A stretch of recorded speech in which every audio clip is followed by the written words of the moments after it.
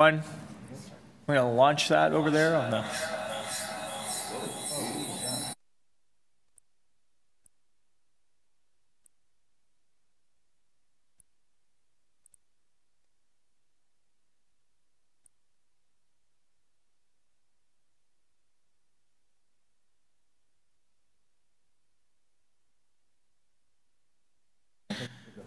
Mic check. All right, crystal clear. Uh, good morning, everyone. Uh, good morning to our friends online. It's great to see you. Uh, hi, hi, everyone. I'm waving at you too. Um, my name is Councillor Brad Bradford. I'm the chair of the Toronto Music Advisory Committee.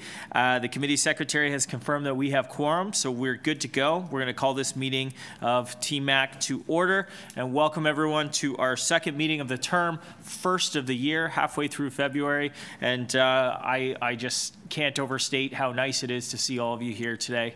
Um, I see uh, we've got Deputy Mayor Morley here as well, and uh, Councillor Paul Ainslie is joining us uh, from Council also.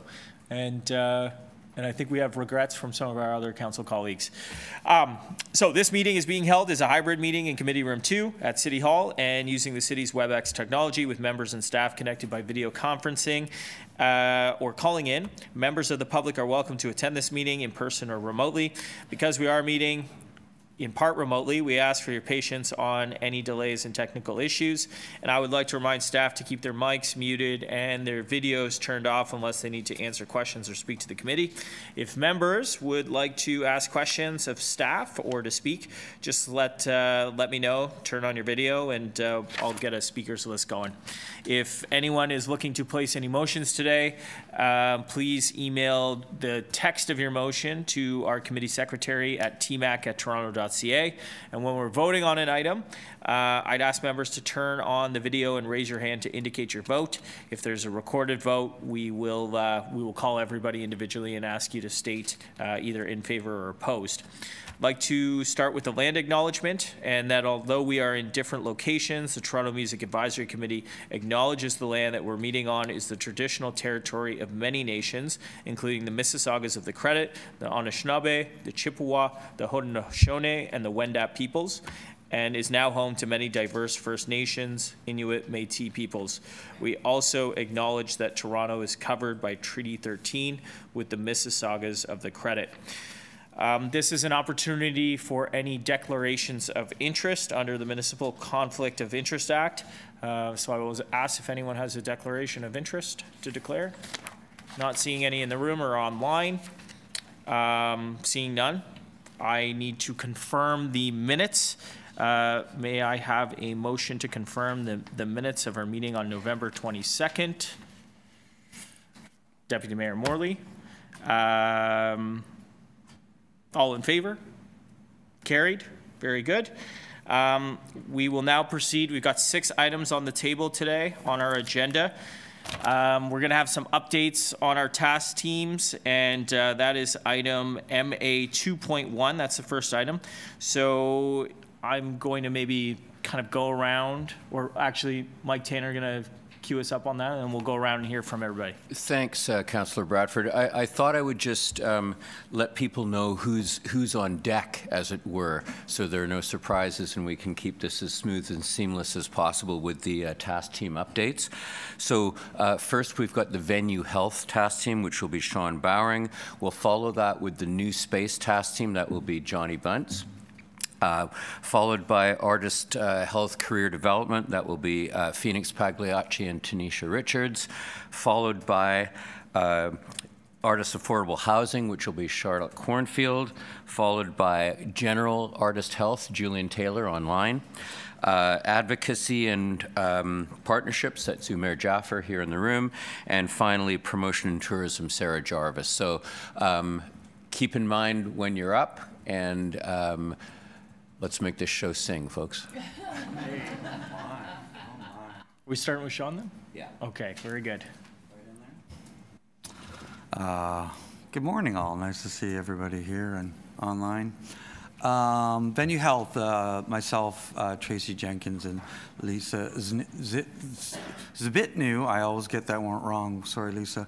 Um, uh, we've hit the ground running. We've had a lot of meetings and engaging with people. So I'll kind of run through the list of what we're doing and what will be coming up uh, in the near future. So um, we, we've engaged with the new, new zoning and licensing for live music venues. We've had meetings with zoning and city planning um, just to get engagement because uh, January 1st, 2025, there will be some new uh, business licensing. Um, and we just want to make sure that, you know, all our, our music venues are uh, represented properly. Um, so there we've been engaging with city planning and municipal, municipal license and standards. Um, advise on uh, new requirements for LMV's association with recently approved changes to zoning, licensing, seek clarity on noise, crowd control plans, um, expanded activity, license expanded activity license categories. Um, there's a there's a, a bunch of uh, requirements that uh, um, that will be in place for venues above 150 um, and are open several nights a week past midnight and I, there was one other criteria that I don't recall right now. You recall that one, Mike? I don't remember, recall the third one. Um, but with those, you'll need a, a, noise and a control plan. Um, we're hoping to make that a template system. Um, so it's very easy for all the venues to participate without um, having different, you know, levels of, of change. Um, we're also uh, engaged on the insurance requirements, aligning with the new licenses regulations, as some um, smaller and newer venues have had difficulties over the past and um, post-pandemic um, in uh, acquiring uh, insurance due to multiple things. Um, ongoing engagement with the noise bylaw review impacts outdoor events as well as bricks and mortar venues. So um, that is on, um, we, again, another thing we've been uh, engaging in quite often, and um, we'll, we'll, hopefully see more results on that for the next meeting. Um, advise music office on new ongoing venue el eligibility for live music venue tax reduction program. Um, we're seeking out, and, and anyone can reach out to me or anyone on the venue health team if you know of a new venue that you think would be um, uh, eligible for the tax reduction. It's quite substantial. It's a 50% reduction um, on your prop, uh, commercial property tax that uh, you're paying. So it's a it's a very good program, and if you know anyone that's new um, that would be eligible, um, please advise. and we'll pass it on to the music office. Um, provide ongoing advice and content in the Good Neighbor Guide for late night businesses, um, and also help uh, assist with distribution. Um, this is something we've tried to practice at the Garrison. Uh, well, we haven't tried. We have practiced yeah. at the Garrison, the Baby G over the years, uh, um, making note of your neighbors and being being a good neighbor and doing some. In our case, we did some extra soundproofing, and uh, you know we don't load out the back where uh, the back door where it's residential. So there's a bunch of, uh, you know, very good advice that would be shared through this uh, Good Neighbor Guide for venues, and just keeping in mind that we're all, you know, living in a big city on top of each other, and uh, some people go to bed at nine o'clock. I heard it was weird, but um, um, And we, we uh, uh, working toward uh, expanding the live music passport program. And we did have a great meeting with Destination Toronto yesterday, two hours ago. Anyway, um, and and so the ball's rolling there, and uh, there's some good ideas. So that's uh, uh, was fairly new on the list, but um, a good engaging meeting that some ideas were shared and will be moved on. Um, long term, explore the potential long term strategies to preserve L LMVs. Um, some expected to overlap with New Space TAC Team, Heritage Conservation, international conventions such as Burra Charter and UNESCO, innovations like San Francisco's Legacy Business Program. Um, that's an interesting one that Mike had brought to us. Uh, um, that we've had a quick look at where the city of San Francisco supports um, legacy businesses and, and there's tax reductions and uh, engagement with landlords to make sure there's a, um, these legacy businesses stay um, ongoing and, and vital. So that's something that we might be able to apply to music uh, venues um, because uh, commercial tenancy is uh, always a tricky one. Um, asset purchase strategies as that of the Music Trust. Music Trust is a program in London where um, a bunch of professionals uh, involved or adjacent to the uh, live music industry have raised funds to purchase properties um, in the hopes of saving uh, live mu music venues. Um, so, uh, with a long-term, ongoing, um, you know, ownership is very important, um, and it, has been quite successful. Um, the fundraising, and so we're we're we're going to explore that avenue for Toronto and see if it is a viable um, opportunity. Um, um, partnerships with private sector developers, including those involving social enterprise partners. That would almost go in hand in hand with our with the last uh, comment. Um, community land trusts, um, again, it's, very similar. Uh, minim minimizing impacts of di displacement for venues affected by the Ontario line. Um, the Ontario line is going along Queen Street. There's the Rex, there's the Rivoli, there's the Horseshoe, there's uh, the Cameron House. They're, uh, they're going to have a giant subway being built under them underneath them and um, you know at the corner of Spadina and Queen so um, if it's anything like uh, Eglinton, the impact will be great, and we want to do whatever we can city-wise. It is a, is it, it is a um, provincial project, but um, anything, any any displacement, any you know interruption of business, we're trying to foresee and keep to a minimum. Um, it's a very busy strip along there, so it's uh, pretty important for the venue health uh, sector. Um, and last but not least, uh, continue to advocate for insurance issues. Um, insurance uh, post-pandemic went up about three to four hundred percent. Um, we've tried to engage um, on multiple levels with the Ontario government because it is an Ontario um, legislative issue. Um, currently, there is no um, um, bounds and boundaries for commercial um, insurance. Uh, it is, um, we, we, were basically, most venues, all venues, were told, Here, here's the price, pay it or don't. Um, and it's put a lot of people in a tricky spot. Um, um, so that's, that's a high priority, but again, we're going to probably have to engage some of the councillors and city, city hall to uh, engage with uh, the Ontario government. Um, and I think that's uh, what we've, uh, like I said, hit the hit the ground running, and that that's uh, um, that'll do it for now. If there's any questions, no. Any questions for Sean online on venue health?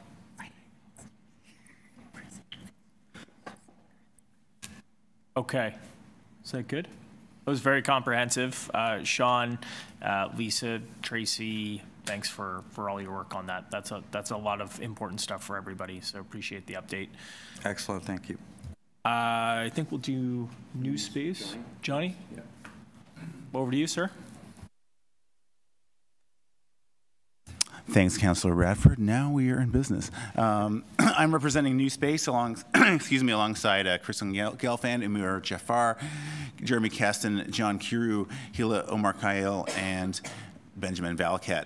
And we've um, broken our work into sort of three uh, short and midterm priorities. The first one uh, crossed over a bit with what Sean already talked about in the venue health um, task team, and that's intangible cultural heritage. Um, and we're looking at exploring, exploring the feasibility of longer term st potential strategies for protecting intangible cultural heritage, which really means the sort of invisible uses of cultural space. And often that's music and other, the, the, the programming, what's happening on stage, the, the communities that are developing these spaces.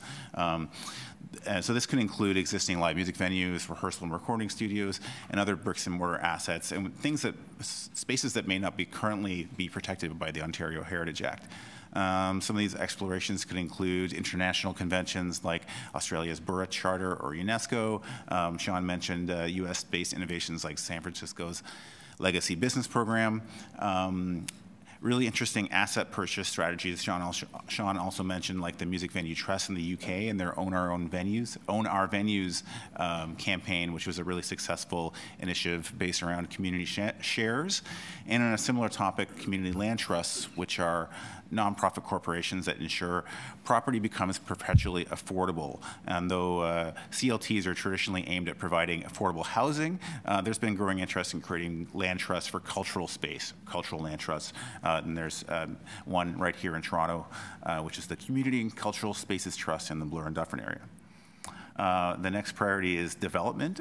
Um, we'd like to engage with city planning staff and private sector developers to explore how community benefits charges, which are formerly Section 37 funds, might be able to help secure cultural space in new developments.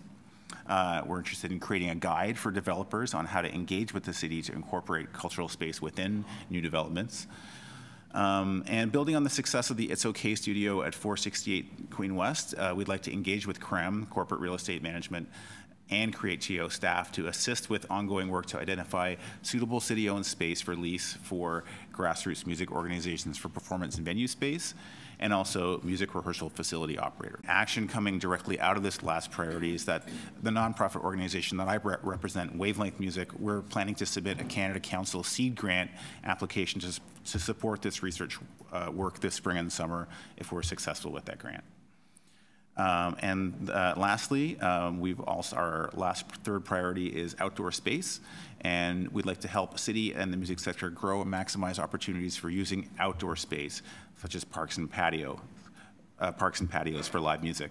Um, so we're looking to engage with the park staff to explore the possibility for reducing costs for outdoor event producers in city parks and exploring opportunities to use other city space such as exhibition place that are not operated by PFR Parks, Forestry, and Recreation. Um, and uh, you can learn more uh, about some of these priorities in a report that I co-authored called Reimagining Music Venues. Um, this is ongoing work my organization, Wavelength, is doing with the University of Toronto School of Cities and Department of Sociology, and it crosses over a lot with the work of this task team, and you can download, download it at the link uh, or on screen or use the QR code. Um, it's, uh, if you visit wavelengthmusic.ca, please visit the, the, tab called Research and you can download the report. Um, thanks so much, everyone, for listening. Thank you. That's a great, uh, great update, Johnny. Lots of work going on there with you and the team. Any questions? So I was just, I was saying.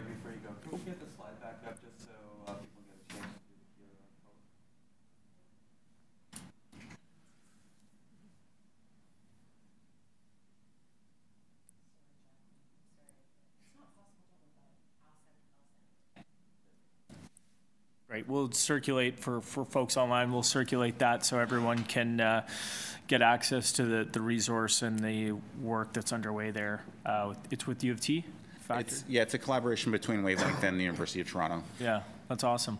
Thank you. I was just saying um, to Mike here, in terms of setting up some of those meetings and just making sure that we have an opportunity to get around the table with some of those key staff, create mm -hmm. CREM, planning on the CBC stuff, um, we're going to all work together to actually get those on the books so that we can have those conversations because I think that's important stuff to push the stuff from this uh, task team forward. Thank you, Councillor Bradford. Yeah, no problem. Um, yeah, just just additionally, um, I can uh, connect you guys in, in your group and with the Venue Health Group with um, Music Venues Trust in UK that's run by Mark Davyd, who's a friend of mine and uh, colleague, associate. Um, so I can set that up. And also, I think we talked about this with these groups internally. Um, maybe talking to somebody like Kevin Barrett with uh, Kensington Market Land Trust, Community Land Trust would be a good start because they've done some good work there in preserving, you know, uh, grassroots space. Thank you, Mike. Any other questions? Looking online? Good. It's Phoenix Online. Can you hear me? We can hear you, Phoenix. Floor is over to you. Awesome. Thank you so much. Um, great presentation. I had a question in regards to the It's OK space and any other options that are being um, currently explored by the city. Do we know of any other facilities, space that are being um, offered to uh, to artists on a temporary basis? Um, I can give a quick answer to that, uh, Phoenix. Uh, it's Mike Tanner. Uh, the answer is no. Um, that's the short answer.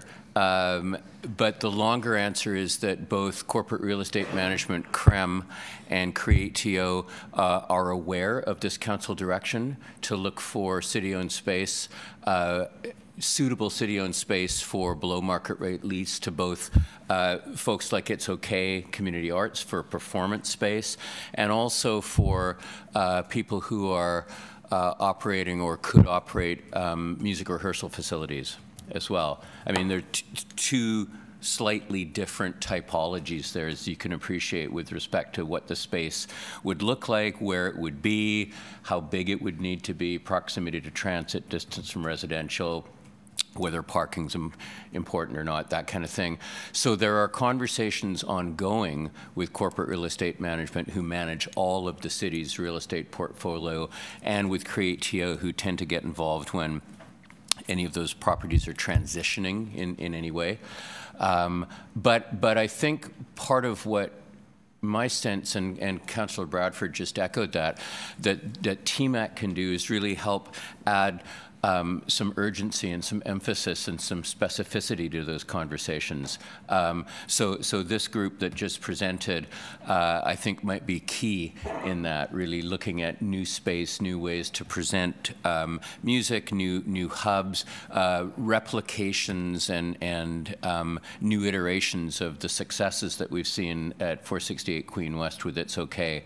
Uh, so ongoing conversation. We want to add more. Um, emphasis to those conversations. Mike, I have a question. Oh, sorry. Could I just quickly follow on to Phoenix's question and, and Mike's answer, just very, very quickly? It's Marguerite Pigott speaking. Um, I would just add that um, in economic development and culture, there's an office called the Office for Creative Space. Um, that's dealing with a lot of these issues as well. And in the culture plan and the economic action plan, but really more the culture plan that's currently under development, um, with economic development and culture, and which there's been a lot of outreach to this community for, for input. Space and access to space is a huge emphasis there too.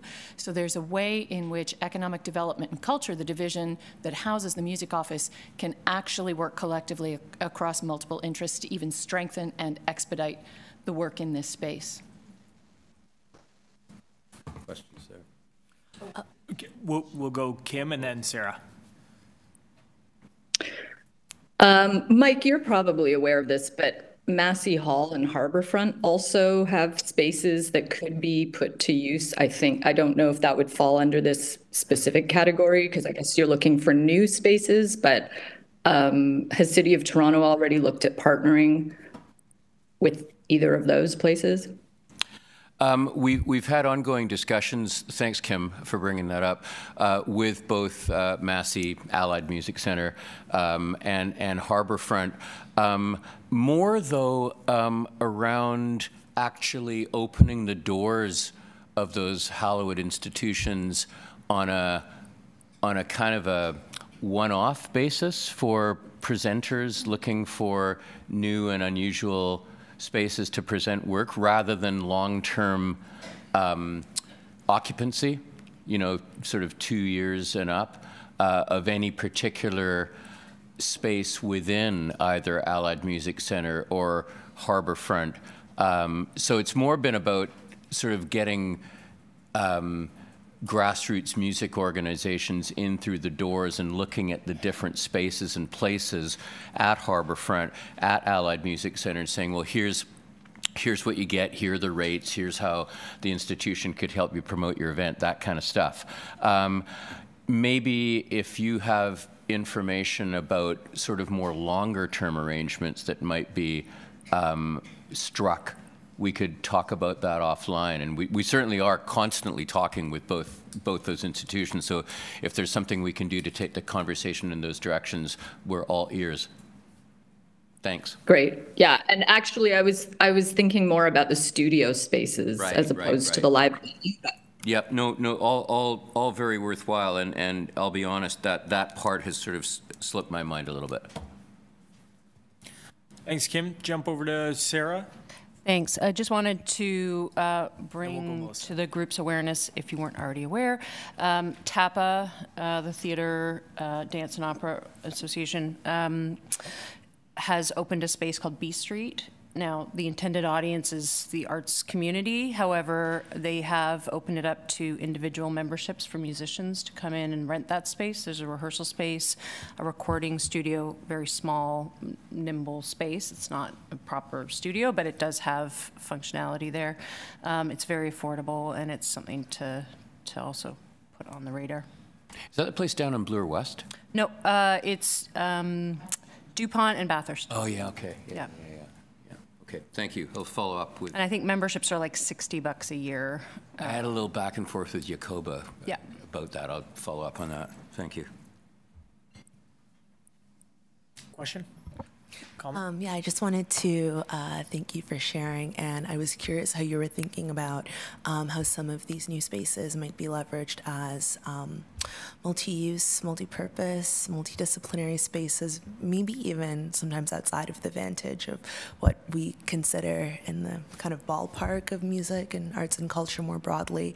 And I'm thinking of it because um, I'm currently working on a symposium at the Faculty of Information um, as part of my fellowship, and we're hosting some of it at It's Okay Space, and it's a symposium on um, black art and technology and I, I, I think about how oftentimes those connections are made interpersonally and i wonder how in this initial stage of building and conceiving and visioning we can really think about um, the many other groups in the city who are doing work that's aligned with ours but oftentimes might not be top of mind That's a great question, Melissa. I think with this uh, with this study that we're envisioning, this environmental scan and needs assessment is finding out who is out there that we might not know about, that we might not, not be connected to. I think in one meeting, um, Mike and I called it silo syndrome, which seems very much uh, something that is a challenge within the Toronto arts community, and because it is such a wide and diverse community, is uh, finding out what are the intersections with music, with other art forms, and who are other uh, uh, other groups and potential users that are that are seeking space and they're, that might be looking to, to to connect to band together to create some kind of a collective space. So I think that that's really would be an aim of that uh, environmental scan and needs assessment would be to cast the net, the net as wide as possible um, through a survey, probably initially a survey and and a series of focus groups to really bring in as many people as possible that might want to uh, tell us what they're looking for and, and, and bring their vision to the table. Thanks, Melissa. Any other questions, comments? Good. Well, appreciate that update. No one online? We all good on there? Next up is Phoenix and Tanisha. Okay, uh, then we're going to jump online for our next update. This is Artist Health. Um, Phoenix and Tanisha are both online, and I will turn it over to uh, the two of you. Thank you, Brad. Um, so the Artist Health team has had some conversation about uh, what we wish to see and uh, how we wish to proceed in terms of career development for artists in the city. Um, I'm just uh, slide two. I'll just say the slide number because I there's a little bit of glare on my end, but um, the artist. Oh, that's perfect. Next slide, please.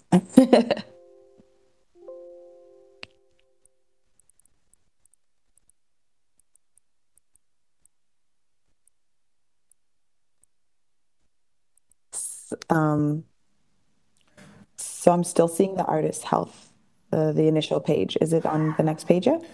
Yeah, hang, hang on a sec, Phoenix. We're just trying to Okay. work through that.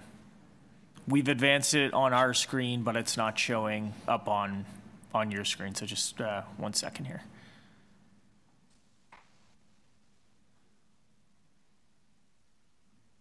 Wow, is that a new Broadcast Toronto logo? I've never seen that before. That's some retro vibes. That was pretty cool. Yeah.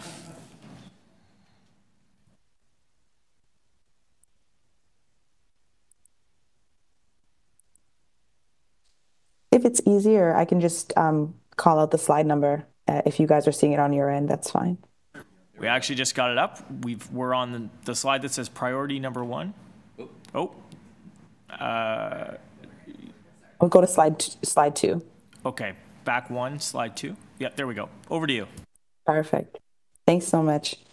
Um, so the Artist Health Career Development Team has identified a number of priorities, I should say a number of priorities, that will help to develop the careers of local artists across the city.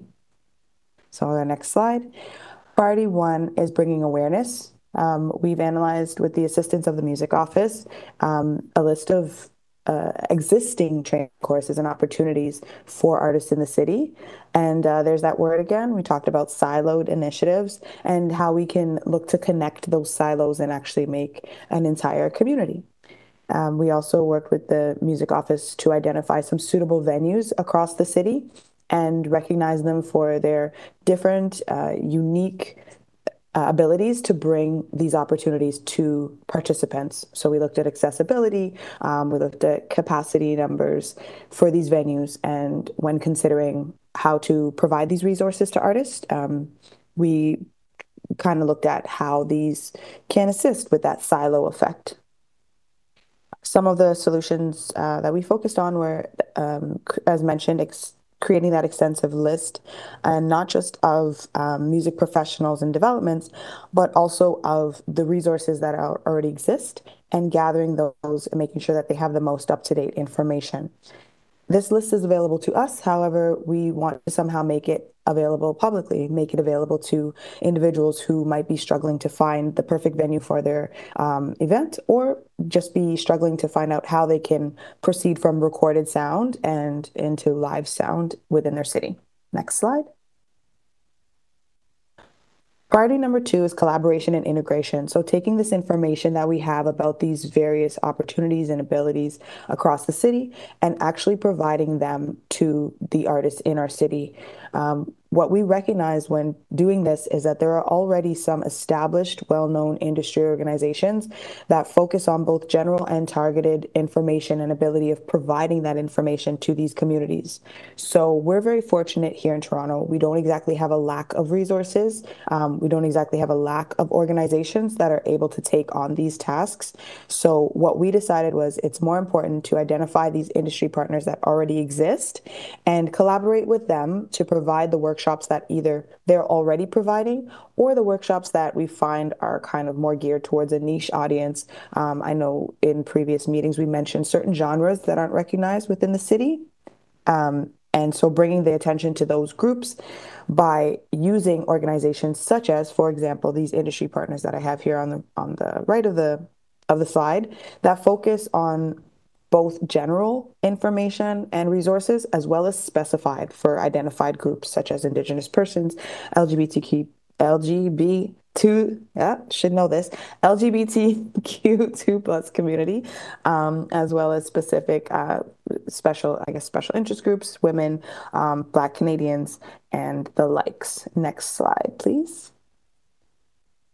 Priority number three has been recognized as expansion and exploration. So once we have identified and collaborated, we want to build. We want to continue to make sure that these aren't one-off opportunities that um, you know somebody has mentioned in past, and when you hear about it again, you're like, hey, yeah, I heard about that. We really do want to focus on the advancement of the careers of artists in this city um, and the advancement of creativity, because eventually we want it to become an economic uh, benefit for the city um, so through networking and especially, uh, sorry, especially extensive networking, connecting with industry professionals across industries, um, we can bring the idea that music is um, intersectional with these other industries that are already building on Toronto's economy.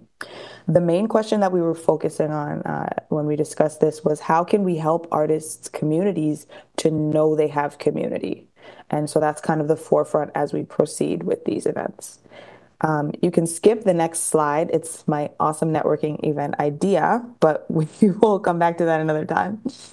Um, the objective of such networking events are to help these industry professionals and budding industry um, artists and creatives to find their ideal network. We know that not every network is for us. Not everybody is at the same level at the same time. And so um, finding their ideal network can really help them to not be discouraged and to proceed in arts and creation. Um, I also feel that a lot of people in the city are a little inundated with organizations, committees, groups, um, things of that nature. So a lot of artists might not really understand what TMAC is, who we are, how they can benefit from um, communicating with us. And I think that that should be our main focus, introducing um, ourselves to the artist community in 2024. Um, and again, these collaborations can be across organizations that already have established networks and can just bring their people to our people. And that is how we build community. Um, and then I just have some notes there that are irrelevant at this time. And next slide, please. So our action items right now are to develop a detailed plan for executing a comprehensive. Oh, I'm so sorry. Now this is when we go over to Tanisha. Um, yeah, so the next steps and action items for us are to develop a detailed plan, um, identify specific areas of skill development needs for artists and grassroots music entrepreneurs, and define clear goals and milestones for the program's execution. Um, we will detail targeted workshops, training sessions, or courses to address identify skill gaps, and then incorporate a timeline for the implementation of skill development activities uh, for partnerships and mentorship. Um, proactively will establish and identify potential organizations offering business skill training, initiate conversations and agreements to form collaborative partnerships, and then identify experienced professionals in the music industry that can support um, our groups. And then next slide. Um, networking implementation. Uh, we'll choose suitable platforms for artists and entrepreneurs to connect and collaborate, ensure user friendly features and accessibility, um, plan the event um, with engaging activities, panels, and opportunities to participate um, for participants to network organically, which is super important for us. Um, and then promote the event through various channels to maximize its attendance. And then lastly, marketing and exposure executing strategies for effective online presence. We want to make sure, like Phoenix had mentioned, that um, it's not something that people hear once it's done, they hear it before it happens. Um, so we want to develop a content strategy for social media and other online channels and utilize digital marketing techniques to enhance visibility, establish partnerships as well within the community to ensure that um, it's reaching the folks that we want it to reach and then collaborate on marketing initiatives to broaden the reach and opportunities provided by the program in conjunction with the music office. That's it. Thanks very much. Uh, lots of great things for us to all work on. That was wonderful. Uh, any questions? Looking in the room here. Anyone online? Uh, probably a couple comments. Uh, Mike Tanner, over to you. Yeah, just a quick one. Thank you, uh, Phoenix and Tanisha. That was that was great and really inspiring as well. Um, just want to put it out there that that um, we in in the music office, in film and entertainment industries, and in economic development and culture generally, are totally down to support this idea of bringing people together and networking and, and sort of overcoming those silos. Marguerite oversees a section that includes other adjacent creative industries, and TMAC members here, as we know, represent all these different components within the industry. So if we work together, as um, Phoenix and Tanisha and, and, the others in this group have, have suggested that we do, um, I know Councillor Bradford's also very keen on this idea of, of networking event or a series of networking events that just kind of help break down those barriers. So we'll connect with you guys separately afterwards about what what the next steps can be. And and I, I'd love to get something in the books for, for this spring. You know, like not not wait too long to get get the ball rolling on this. It seems like an easy one and one that would generate a lot of other um, great ideas as well. Yeah, that was that was my comment as well. Is like let's just uh, let's see if we can go on that. So that's something for all of us to work on and try and land it. I think those were a bunch of great ideas, but getting together would be a be a nice one. Sean has a comment. Uh, thanks for the presentation. It was great.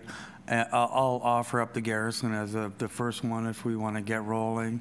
Uh, years ago, Mike and I did a Music City um, uh, presentation uh, open to the public.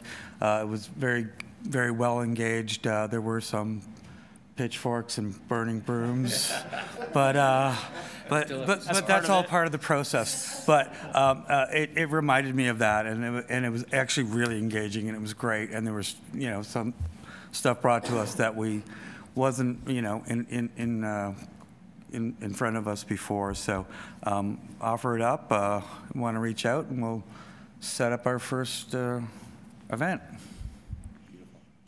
Wonderful. Any other questions, comments? All good? Okay, thank you so much, Phoenix. Tanisha, appreciate that. We're going to jump to Charlotte in the room here. Cool. Are So, you doing affordable housing for music? Yes. Oh, awesome. Very good. yeah, so Over to you. Our, our task team is Johnny and Gila and myself. Um, and we are working to help develop recommendations and required characteristics of housing options for artists, as well as cultural spaces and rehearsal spaces in, integrated into these um, buildings.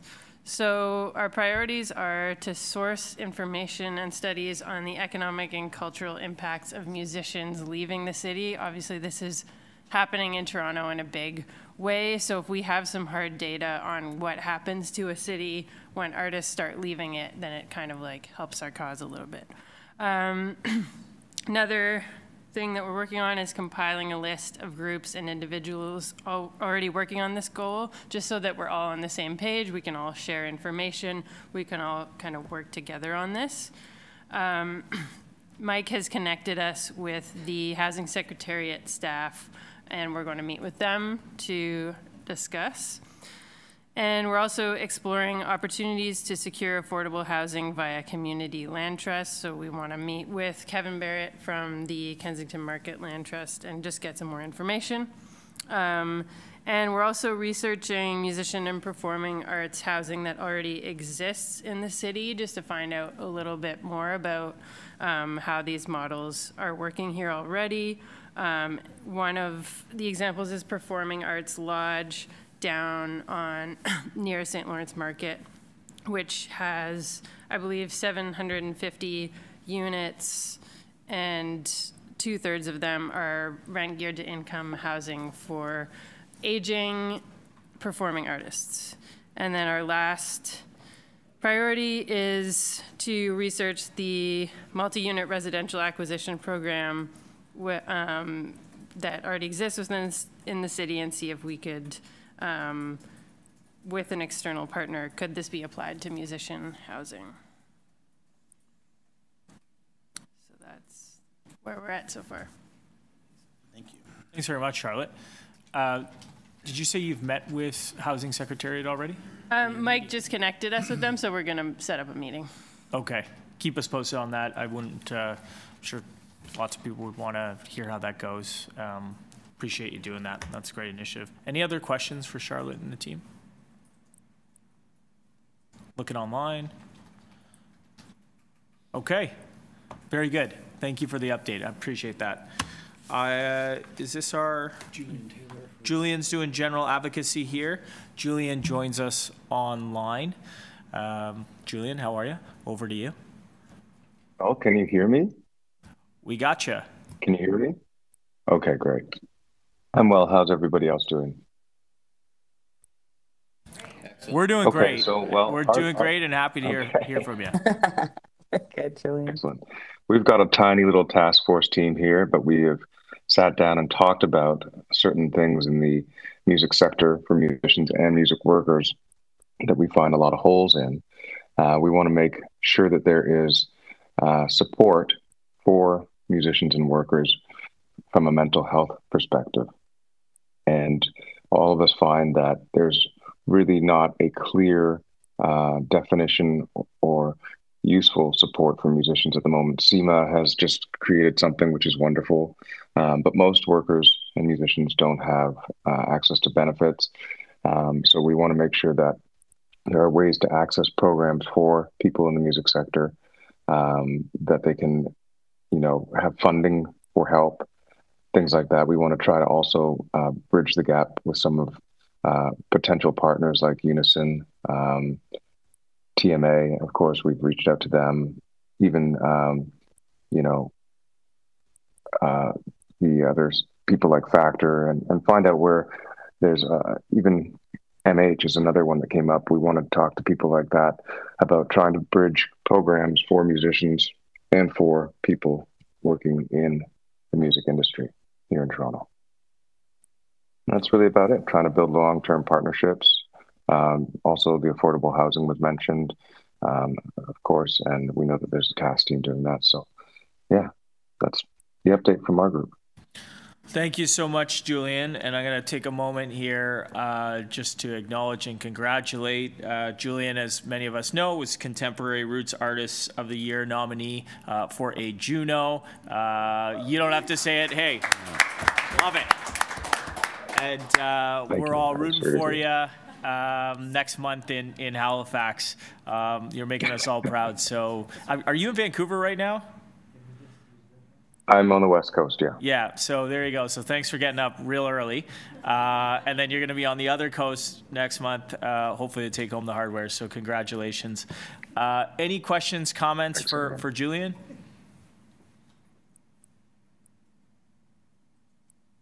Okay, good. Thank you so much. And uh, again, we're all we're all rooting for you and uh, making Toronto and East York proud. Congratulations.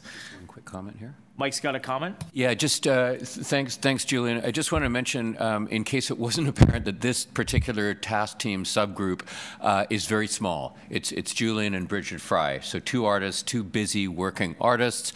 Uh, all of you are also busy with whatever you're doing. Some other artists in the room as well.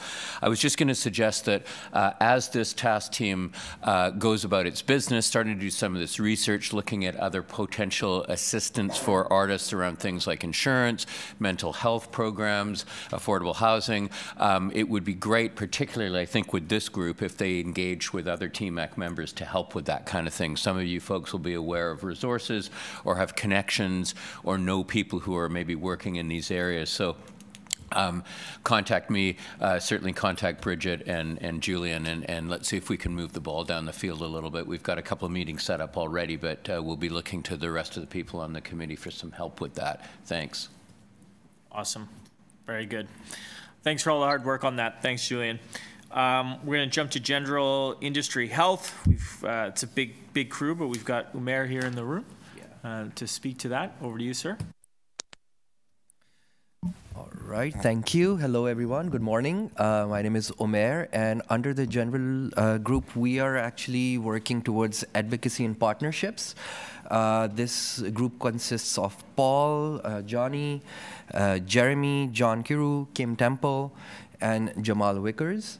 And it's a, it's a new task team actually, I should pause first and thank Mike and Jacqueline for organizing all of us and for all these task teams.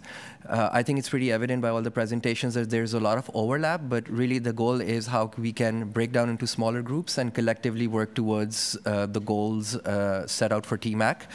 Um, so for this task team, there's a lot of overlap, but essentially advocacy and partnership is the main theme here. Uh, what that means for us, uh, we're still developing um, further action items, but um, at the top level on the advocacy front, how can we be the collective voice for the music industry? Um, of Toronto and for this committee and work with other level, levels of government uh, and be the local point of contact as uh, CLMA or CIMA are doing their uh, wonderful advocacy work. How can we be their point of contact here in Toronto and channel all the different perspectives um, through um, to them? Um, that being the main advocacy part uh, internally at the city level, how we can partner with the music office and work with other city departments, uh, such as business growth services, uh, the BIA office, um, how um, we can help towards integration of uh, music into city planning. And really the push is music not being an afterthought, but being part of the planning process as early as possible. You've got a great resource through TMAC. Uh, a lot of people can give inputs. And if we really are to build a city uh, which keeps music uh, in the core, then we should be involved um, as early as possible through um, the planning process of the city.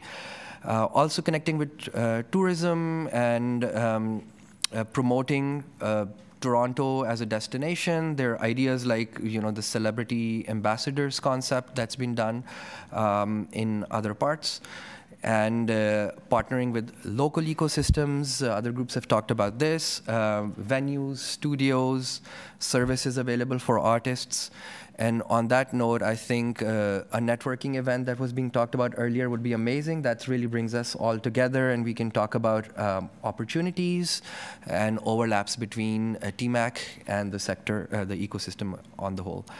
Um, more towards uh, some uh, short-term practical stuff uh, that's come up is around licenses and tariffs and we are looking at following with uh, licensing for city venues. This obviously will be talking to the venues groups as well, uh, how we can use community centers, parks, libraries, uh, but that might not yet be covered under some uh, licenses from the city. Another great idea that's come up is implementing of um, tech infrastructure and tools that help uh, one such tool that's been implemented in Europe is called uh, Kuvo. I don't know how to pronounce it. Kuvo? Yeah? Okay.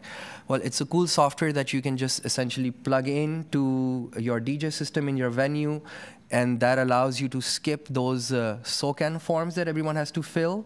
Uh, it does it automatically, which then allows artists and songwriters and everyone else to get the right royalties. So there are technologies out there that are successfully being implemented in other parts of the world, how we can bring that into our city and our ecosystem such that everyone benefits. Um, so there, this is essentially sort of a summary of all that we're looking at, partnerships and advocacy. Uh, and the request is that if there are advocacy concerns or uh, opportunities and partnership opportunities that come to you, you can throw that to this task team and we'll hopefully rile up and uh, get things going. Thank you. Thanks for the update, Mayor. Any uh, any questions?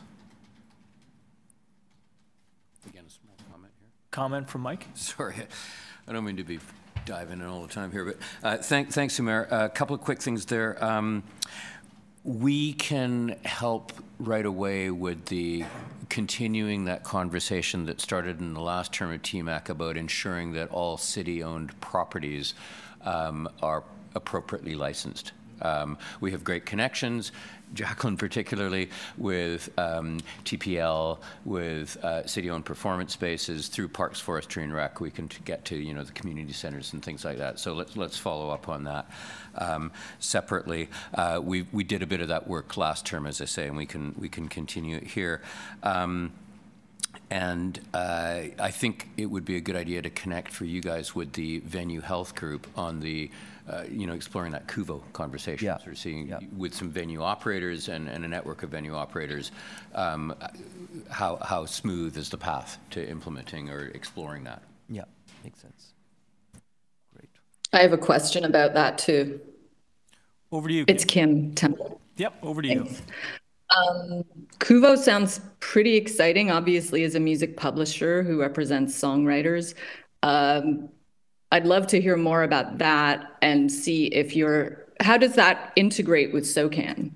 Does that reporting create playlists that then are ingested by SOCAN instead of filling out? I, I hear you on the laborious filling out the SOCAN forms front, but I'm just curious to know how Kuvo would integrate. Yeah, I think Jeremy knows more about this. Um, I don't know if he's here online. Hello, can can you hear me? There you go. We got you, Hello? Jeremy. All right. Yeah. So um, yeah, it's something I've been investigating.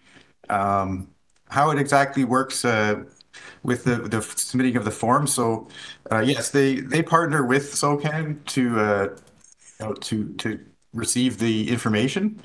Um, it's something that you they they when they work with other countries, um, they started a pilot project uh, collected data and then shown it to their agency, their local uh, national agencies, and uh, created a plan to uh, to make that work.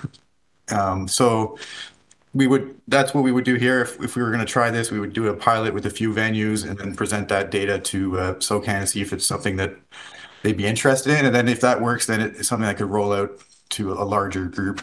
And uh, so that would be maybe how that might work um, but yes they collect the data and uh, report it to socan that's great yeah Thanks. And if you need help, um, you know, connecting with SOCAN, let me know. We can work on that together in our task force. That'd be great. Question or comment from Melissa? Um, yeah, thank you for sharing. And um, I think it's always exciting to think about some new ways we can resource our ecosystem, which uh, makes me think of maybe a broader question around how this committee has dealt with and considered.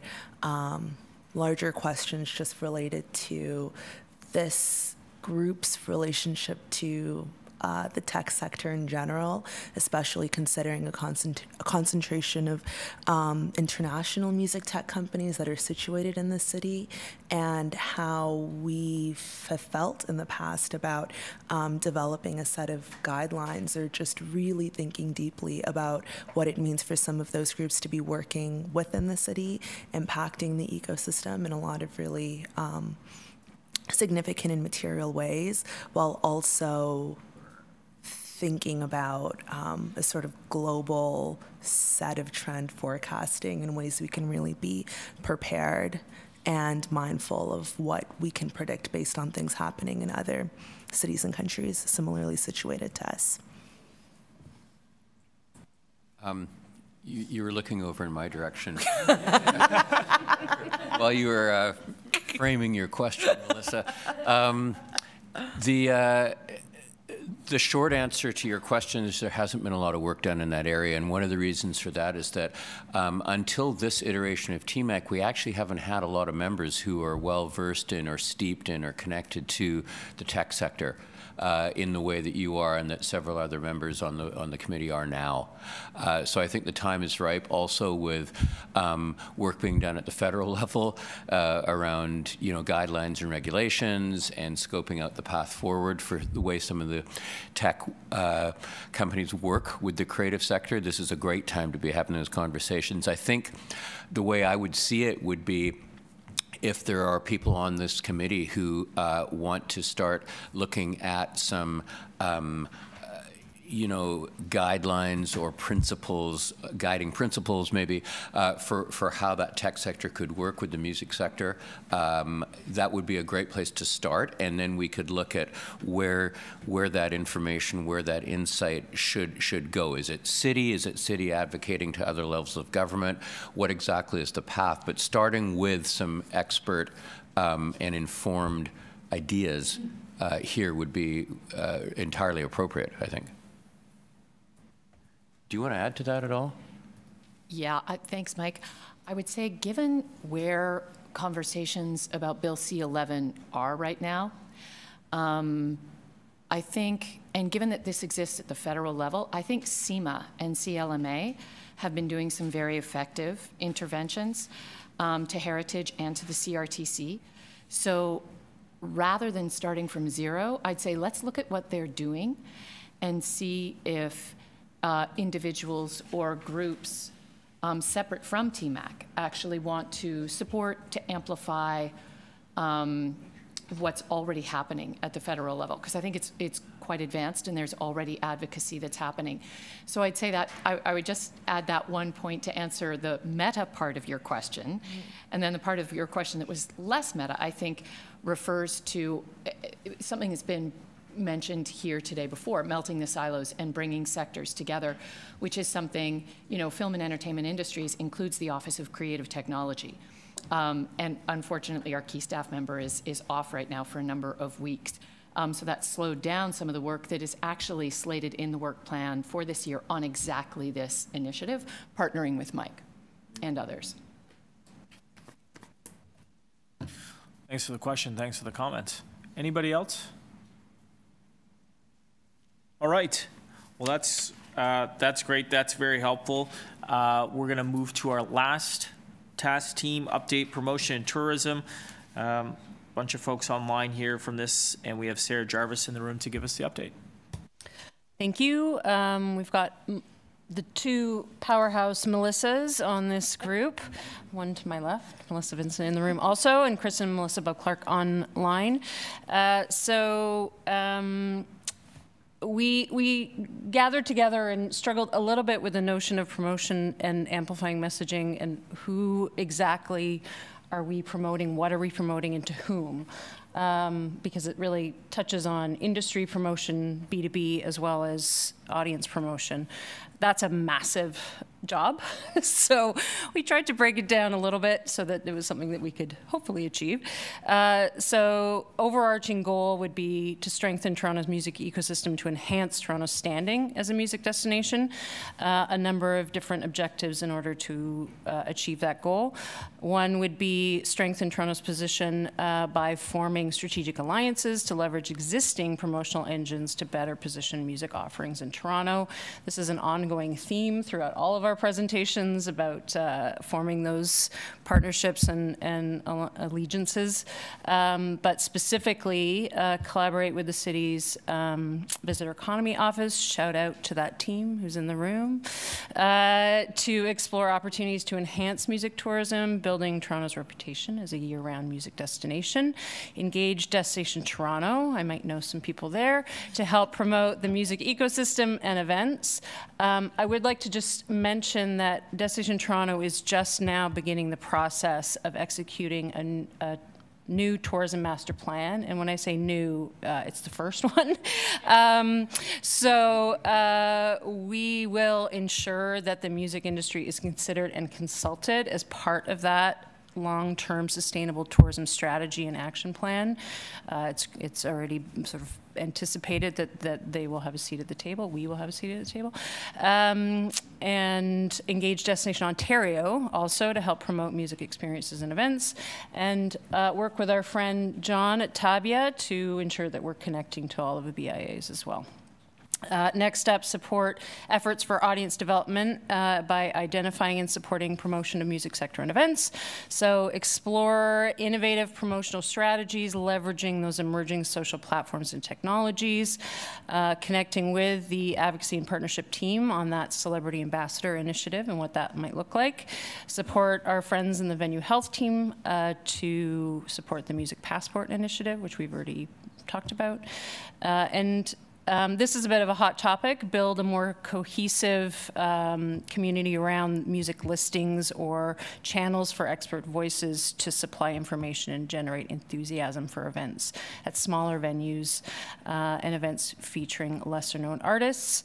Um, there's certainly lots that exist. We all we've talked about it before. The loss of the paper uh, and listings. Um, Johnny knows about this very well, uh, but uh, re-engaging with with those new online platforms to to better support that community, like now Toronto, now playing Toronto, Destination Toronto, Next Mag, etc.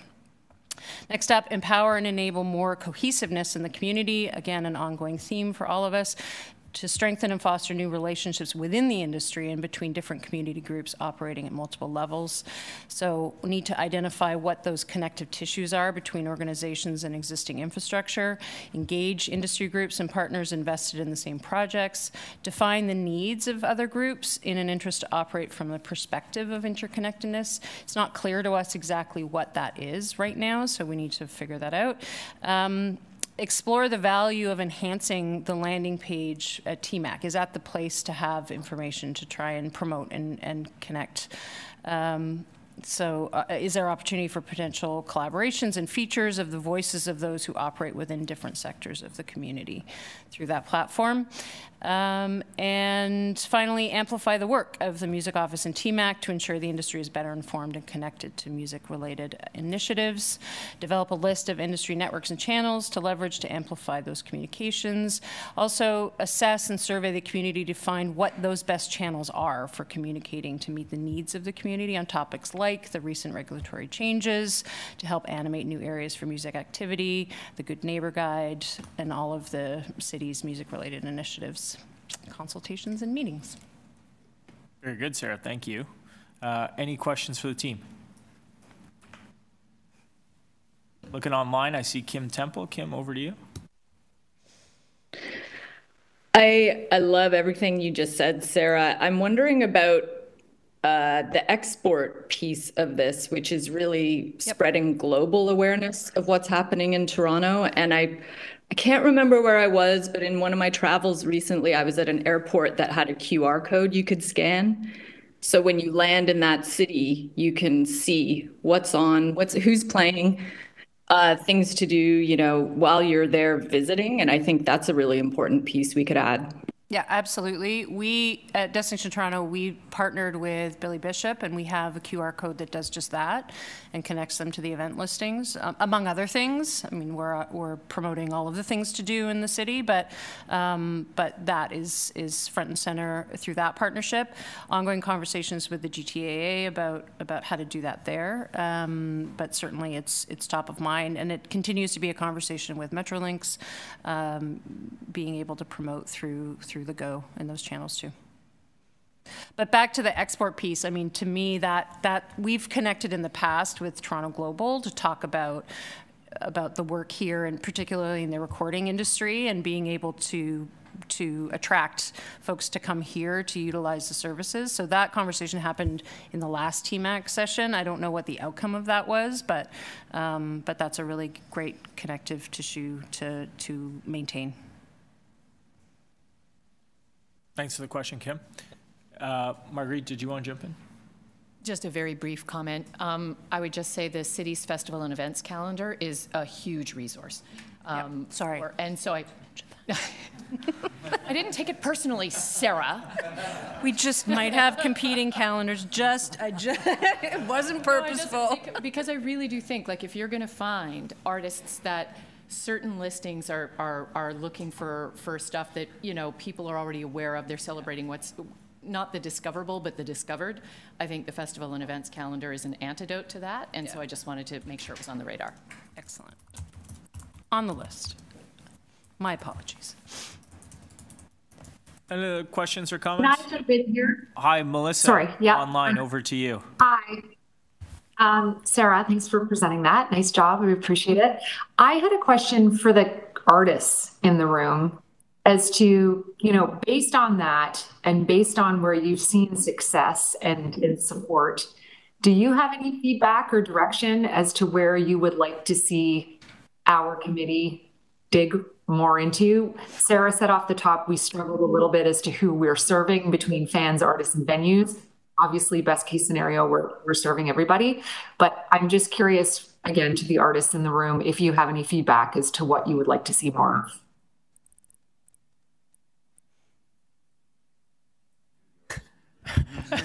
Oh no i'm the artist in the room. Um, i would need to put some thought to that but in terms of like what was what was being said just now about um, export. Uh, yeah, I think cohesiveness was mentioned um, on a sort of like international level, um, painting the picture of kind of like what what are we as a as a city like what are we sort of like representing and um, how do we sort of unified connect outside of, sorry, my mic is uh, glitching out over here. Um, I don't know if that helps answer the question, or Melissa, or if you had any sort of like um, specifics within that. no, I'm just I, am more looking for if anyone has any thoughts. You know, certainly give it give it some thought. But if there's anything specific, like we, are, you know, one of our tent poles is we're here to serve you. So if there's anything in firsthand um, experience that would be helpful for us, like certainly just shoot us an email or go through Okay, Mike or what have you. But And yeah, in, in further thought, I do think the listings piece is, is a big one. Um, I think just my personal experience, not knowing exactly where to list things or exactly where to find things. Um, so having, I, I know there are tons of efforts to consolidate that information, but just uh, spreading information about where to go to, get that and making it easy to access, I think would be great. Uh, comment as well. Um, venue wise, we're struggling with the same thing how to reach that audience and where to. So maybe collectively putting our heads together so we're all, all getting equally represented and, and reaching our target audiences. Um, Air Canada, they had a, you know, a, the, the thing on the back, your little screen on the back of your seat. Um, there's a little magazine or something that was on there. And they did a piece on the garrison. And we literally had people coming from all over the world and going, oh, well, I saw it on the back of the seat on the airplane and we thought we'd start here. So it does work and it's just finding those niches and people and, and places and tying them all together. It is a struggle right now because there's so much noise from so many different areas, but um, the destination, um, i uh, I think, is a, a a good focus for us to start. But yeah, how, how to just how to get that information out and find our audience is uh, uh, something that we can uh, all collaborate and share on.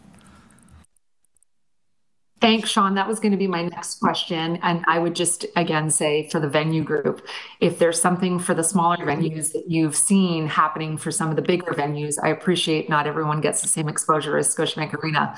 Uh, certainly let us know. And I think that's, you know, we can use that as we try to form our objectives.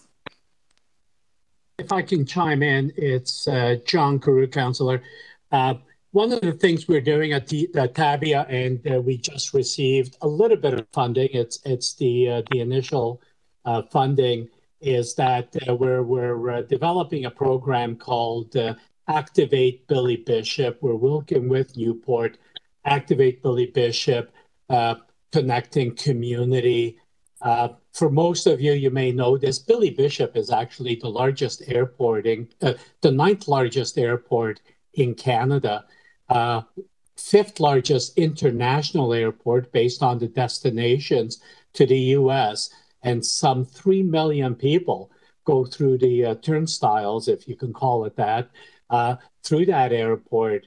Um, the Nieuport uh, deal that we've got cooking up right now is to put in an activation space, um, take up some of the uh, Nieuport portion at the arrivals level before you go down that 90 foot escalator uh, that takes you into that tunnel uh, right near the top of that where we're going to be activating that space both in a, a qr code and you know maybe we can have two qr codes because it sounds like we've got a couple of competing directional uh, and and informative uh, opportunities out there but at the end of the day, is to reach out to these folks uh, and let them know what's going on in the communities uh, across Toronto. Uh, in some of the venues, the idea is out there. Uh, honestly, uh, just started a conversation with Drake's people to have Drake cut a uh, a short clip. You know, basically, hey, it's Drake. Welcome to Toronto. this is where I live. This is where I play and then the video shoots off into all the you know opportunities and venues that are out there etc and what's happening and we're looking at it as being a, a, a weekly segment really putting that out there to let people know because many of the people that travel through billy are one two three maybe a week's uh, period of, of visitors. So they're always looking for stuff to do. So get them into our neighborhoods, etc. So it's it's an initiative where uh, we're in the design stage right now. Actually, uh, just that money is going to be used towards that, and looking forward to that activation that's going to benefit not only the BIAs across the city, the 84, but other opportunities. And again, you know, there's nothing keeping us from, and I'll be aging myself here, a week before Caribana, that uh, we have a couple of steel drums and uh, a costume individual there through the peak periods and having that relationship with uh, Billy Bishop Nieuport. We know when the major flights are coming in. We know what the volumes are, so we'll book a three three hour window to promote those events or festivals that are happening at that time. So a lot of a lot of opportunity that comes around that. It is our gateway, and I think we've been remiss in not taking advantage thus far. So hopefully this opportunity with all the good work that the destination and all the other and NECDEV is doing, that we can uh, strengthen the activation with some relevant information. Just wanted to share that. Thanks very much, John. That sounds cool. Any other questions, comments? Yes. I think I would just um, love to ask the room for, you know, there there's promotion via tourism, which has easier pathways, I think. But back to the listings question, you know, part of the challenge is getting Toronto audiences back to Toronto venues. So, is it is it the the view that this task force takes on that as well, or is it strictly the visitor audience? Because it's, I mean, I, I would suggest maybe splitting it. it. That's a lot to take on because trying to get audiences back into venues in the city, that's a Herculean task right now that every single artist and venue is struggling with, I think. But I don't know. Or is that the collective role of this entire group, maybe.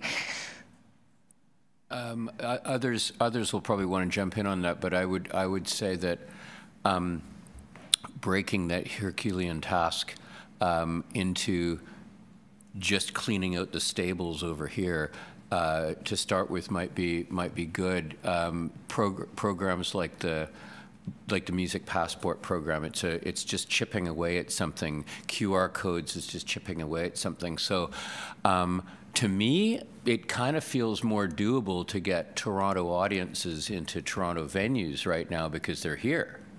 Um, we don't have, you don't have, this committee doesn't have the budget to be advertising in the New York Times, you know? Uh, but, but can we do things through the BIA office, through Tabia, through other networks that we have access to? Probably, yeah. They might be small things, but they, they might show some proof of concept and some traction. That's my feeling. I don't know what others might want to add to that. Charlotte? Yeah, I, I, think when scenes get buzzy is when they're local and exciting, and then they get buzzy outside of town. So I think like starting at a local level, um, yeah, and just like back on the listing things with regards to that, I, I have been going to individual venues and promoters' websites to like find out what's going on. So yeah, I do feel like the more the more accessible that information, it not it's not not accessible, but the more um, the more it's all in one place, the the easier it is to kind of like get the word out about those things. Um, Johnny? Yeah, just like to um, follow follow up on what's been said. It's getting Toronto audiences into Toronto venues to see Toronto artists. Like, I think that's really what, what, what we what we want. And uh, yeah, we've we've talked a lot about the, the the challenges of competing listings as a presenter. We put our listings in every single place, but it's still it's, that's a lot of work mm. and a lot of duplication. And money. And, and time and money, and um, there's definitely there there must be a way to consolidate. Um, so I do uh, think uh, uh, second Sarah's suggestion that I think maybe a specific task team dedicated to that, this very very defined task would would be a good idea. We'll go Melissa and then Sean. Um, yeah, I, I, don't know how it, but there's also seems to be a question in the audience, but I'm not sure how it works to filter through that. Um, I, I didn't. Was that a rhetorical question for contemplation, or? Sorry, did I mishear what you said there? I apologize. I didn't know. Yeah, go ahead, Melissa. That's okay. Um, yeah, I, I, I, think just sort of to your point and to give you insight when we're having this conversation, we're thinking about how, uh, you know, venue listings are crucial to responding to the way that people don't make one stop over the course of a night, right? They might go to something big at a larger venue that has more visibility, and then you need a second destination afterwards. And that's oftentimes where you get a lot of really great overflow and really feel the sort of like interconnectedness between different sizes and different scales of the, um, you know, our sort of music community. So, yeah, it, it, it, it feels like a big task, but also feels like one um, that I'm curious to think about ways we can really chip away at it together. Okay, we'll go Sean, and then we'll go Charlotte, and then Sarah. So Sarah, the, the short answer to your question is yes. it seems to be a priority for e- everyone. Um, so, uh, and again, we're not just going to throw it on your desk. I think if we all work together, um, we're, we're all feeding out into these different systems. If we if we all share a common place, if we all share, if we you know share that information, that all the things that we're feeding into it, it that that's going to focus it, and the audience is going to know to go there. And I think that's that's the task where we need to go all right, it's going to be there. And we all feed into that and, and share that information with the audiences. That, that seems like a fairly straightforward, um, you know, starting point anyway. So I think it's amongst all the task force to, you know, that we all tackle it together on your desk. Thanks, Sean. Uh, Charlotte? and then yeah, Sarah. I just wanted to give an example, just based on what Melissa just said, of um, that spillover from a big kind of international event to a local scene. Um, I can't remember exactly when it was, but I think it was in the summer when uh, Anderson .Paak was in town, and he came. Who's like a massive artist. He showed up at Drom and played with a bunch of local musicians, and the next day it was like exploding everywhere, and it. I think it's an example of like um, putting a local spot on the map, bringing it like tons of international attention, and then it's like if anyone who reads that article or reads, sees that post is going to check out what's happening at Drom when they're in town or whatever. Okay, I'm gonna jump online because uh, there's a couple questions there. I think Julian and then Jeremy, and then we'll come back in the room. Um, Julian, over to you. Then we'll do Jeremy. Oh, it was just a long question from a long time ago about it just being easier to find things in the city when we had, you know, papers in every venue, like now and I'm magazine. Um, and I'm just wondering, I mean, everybody's on their phone, but is there some sort of way that we can pair up with somebody to make something like that available that's physical in each one of these venues like what there used to be. And I, it's one thing to have it at the airport and stuff like that, but it's one thing when you're just walking around town. There is head nodding in the room. Uh, Mike's jumping in here. Yeah, I think, uh, Julian, I think that's what Next Magazine has been striving to do for the last couple of years is actually have a physical copy in as many venues as uh, as makes sense. And I think it really just comes down to dollars and cents and and distribution mm-hmm. and advertising and how to make that nut work for for Next or any other publication. Um, I, I, don't know right. the answer. So my question is, yeah. My question is, would the city of Toronto be willing to team up with somebody like Next, or uh, you know, initiative that really does help that in, in each one of the venues and, and record stores or just anywhere really? I mean, you could just start with it in the summer for pat, patio season and see what happens. But that's just my question. I, I know it's not a really good one, but it's something that's missing. Julian, Marguerite Pigott speaking. Um, it is something that's missing, and I, I know it's something people want. Um, in terms of, like, one of the considerations related to that, of course, is sustainability and net zero strategies and things like that. So that's something that we, you know, that I would put on the table as an additional consideration as well. Um, mm-hmm. And then in terms of you know what the city would would consider partnering with, I, I think that totally depends on what ends up you know being developed and on the table and what the role of the city would be. And I would again say, you know, the festival and events calendar, which is something we have that's online, gets a huge amount of hits. Alok, how many hits? about half a million a year. Um, and so, and, and it has a lot of room to grow. So I, I would say that there are a bunch of considerations, but I do recognize um, what you're saying about there being a gap. I miss paper too, but um, you know, the sustainability issue is a real one to consider as well. Right. Okay. I have a comment related. What about the West End Phoenix? That seems like that might be an obvious partner on this. They're doing slow press print uh, yep, yeah, we know we know Dave well.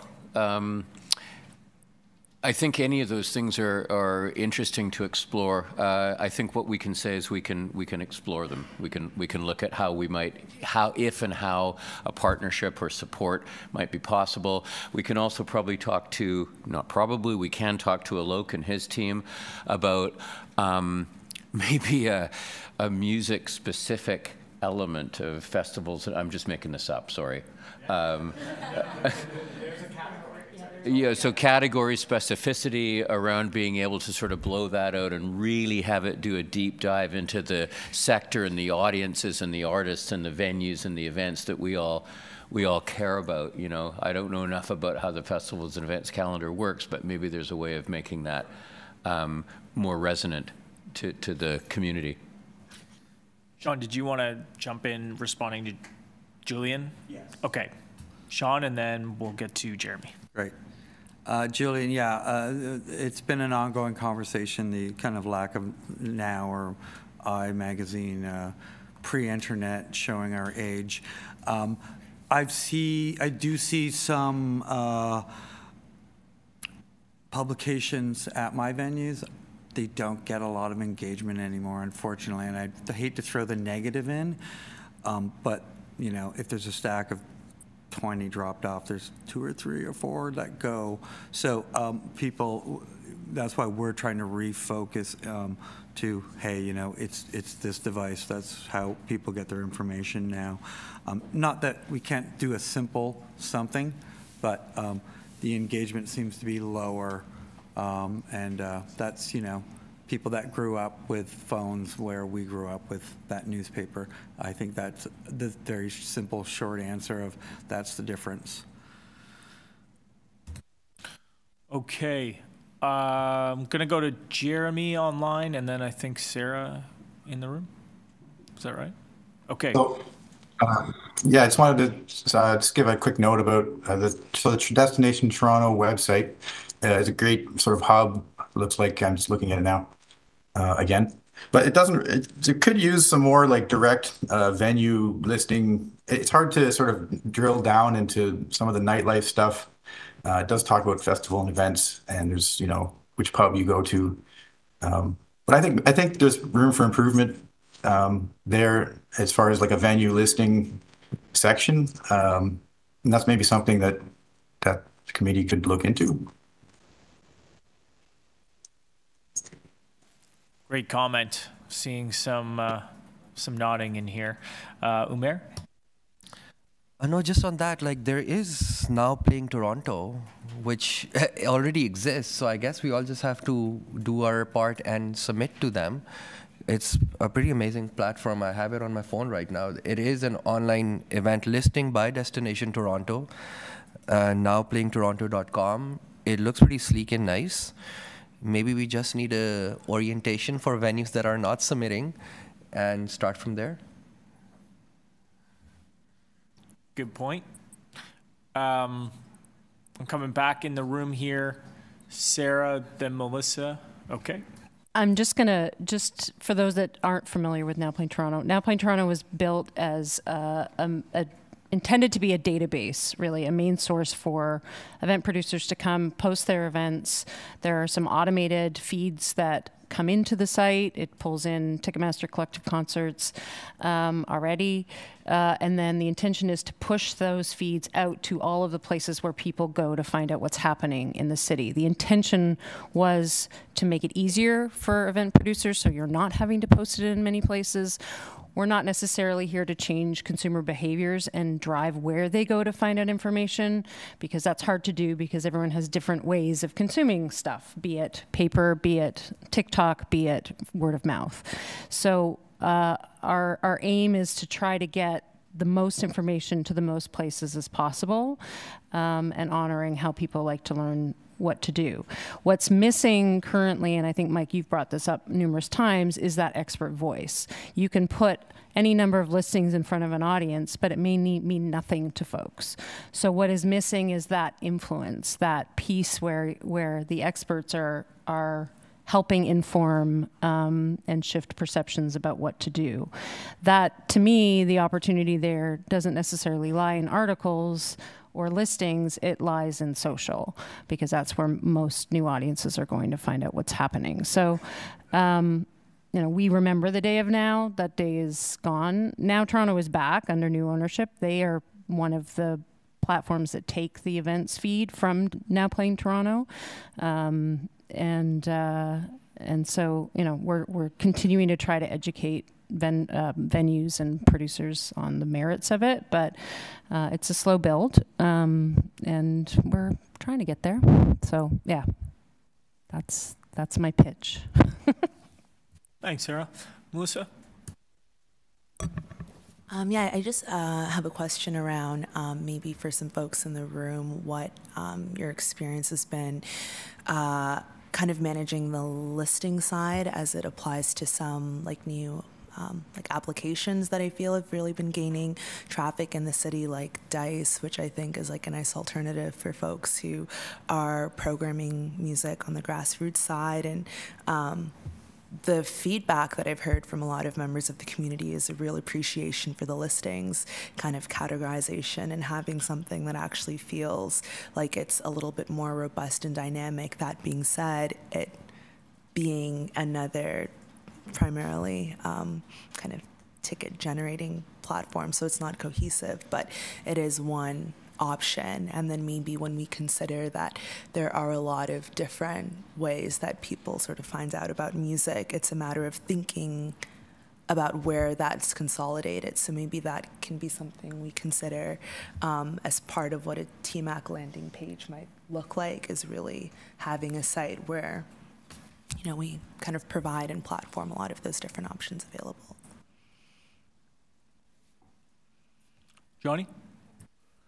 Melissa, yeah, I was thinking about Dice as well. Um, Wavelength has moved over to using Dice for ticketing. I think Transmit and Garrison has as well. And there does seem to be Dice, for those who don't know, is I believe a UK uh, company that started and is moving over to North America. And um, in addition to being a ticketing platform, they do have a marketing function, and their app is very user friendly. It's connected to Spotify, so it's connected so it recommends things to you based on your on your uh, musical taste or your your algorithmic listening. Um, so it, it is a very a very uh, sophisticated tool, but very very app based. Um, and yes, uh, speaking as a former eye Weekly listings editor, and um, and uh, I remember the day, the days of print uh, with fondness. But I do believe, as nice as it is, I do think that those are, that is the past. And um, and thinking about Marguerite's point about sustainability, and and bring bring it back. And by the way, I want to do want to shout out to now now playing Toronto. I think it's a, fat, a fantastic portal. But bringing it back to Melissa's point about the tech sector, maybe there is the opportunity to create some kind of an app that uses AI to pull in from all the different listing sources to actually to um, and then kind of uh, cancel out duplication. And then I don't know if it can incorporate. Uh, I mean, Spotify is very based on curators you know, maybe that app incorporates um, the expert voices somehow in terms of recommendations beyond an purely um, inhuman algorithmic uh, basis. No offense to our AI friends. Um, that's my humble and naive suggestion. Uh, that sounds like a great idea. All right, that's good. Any other? That was a that one was a talker. That was good. uh, any other uh, any other comments? We'll close it off on promotion tourism. All right, I'm gonna. I'm looking online. We're all good. Okay. Um, well, that that was nice to spend our time doing that. I think like everybody is clearly on the task teams uh, working very hard and focused, and there's a lot of good stuff coming out of that. And I think as we have subsequent meetings throughout the balance of the year here, uh, we can come back with some key takeaways. So my gratitude and thanks to all of you for doing that work because as, as, somebody made the point, uh, you guys are all busy and uh, I know it's work and time. So thank you. Uh, I really appreciate it. Um, I guess uh, with no other speakers on this, uh, can I have a motion to receive the item? Motion to receive the item. Okay, uh, Sean, uh, motion to receive. All in favor? Okay, that carries. Very good. So we've got a couple staff presentations. Um, the first one is the implementation review of the noise bylaw. I will just say that there's like uh, four staff presentations plus a meeting schedule. So we have a few items. I personally have a hard stop at 12. I know you'll be done by then, uh, but for everyone in the room, and our, uh, our wonderful vice chair, uh, Sean, will step in to carry you through if we're not done, but we'll keep these presentations short and sweet. Okay, very good. Over to you. Oh, Mitch. All right, Mitch Tebow. Yes. Uh, is here from MLS, everybody. Mitch is with us, and he'll give us an update on the implementation of noise, noise bylaw review. Thanks, Chair, and thanks for getting my last name right. Not a lot of people do. Um, my name is Mitch Tebow. I'm a policy and planning advisor uh, with Municipal Licensing and Standards. Um, I was here at the first meeting in November to talk about the noise bylaw review, um, and am here to provide a very brief update on some of the changes that were approved by City Council uh, last week on February 7th. Um, I'll make a note, I'm just going to go over some of the changes at a high level, um, but will just note that we will be back with this committee to engage further on these changes and um, any kind of additional work that will come from them. Um, so I'll just um, get right into it. Um, so yeah, this just want to provide a brief overview of these changes, some of the timing of the implementation, and some of the additional pieces that we'll be considering um, later on in the year. Uh, next slide, please. Great. So just on amplified sound, um, so these are a few of the changes that were approved by council last week, and these changes will take effect on June 1st of this year. Um, so particularly on amplified sound, um, council did approve a reduction in the indoor overnight amplified sound decibel limits. These are measured, uh, again, from a point of reception, um, not from the source.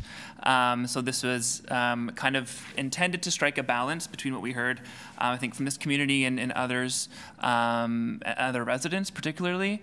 Um, you know, we received advice and, and, feedback that we should lower these limits further, and also consideration to measure from the source, which um, we really um, held the line that measuring from the point of reception is the best way to measure excessive noise impacts. Um, so this is the um, kind of balance that we struck, and it was approved by council. The second thing on this section was just that instrument sound is now incorporated into this section, just to provide some clarity in the bylaw about where um, those particular elements um, are uh, incorporated. The next thing I know, this is a lot of text, and uh, this uh, deck is available um, online in your email as well. Um, but just a few changes to the exemption permit process, which I know um, a lot of organizers um, engage with us on, um, and getting noise exemption permits for anything that might exceed um, the provisions in the noise bylaw. So um, some pretty significant changes here that will come into effect uh, September 1st. Um, I think the first two um, are the biggest ones that I'll just emphasize here. Um, we're working on um, implementing an activity-based exemption permit process. Um, essentially, right now, our existing process, we're treating every permit the same, um, whether it's you know a small concert that's happening on a weekend in July or a significant construction project that wants to work extra hours, you know, for a year. So we really want to work at kind of stratifying the noise exemption permit process. Um, to focus on the um, permits of the most significant impact. And the second element was we kind of modernized and changed the decibel condition for these exemption permits, um, which right now, if you are um, given an exemption permit, um, you have to meet the 85 decibel A weighted limit that's measured 20 meters from the source. I think we heard uh, quite strongly from this committee, particularly last year, that this um, condition is quite unreasonable to comply with.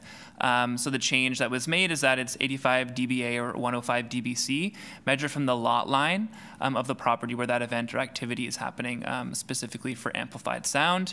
Um, find this is a bit more of a, a reasonable um, condition um, for amplified permits to comply with.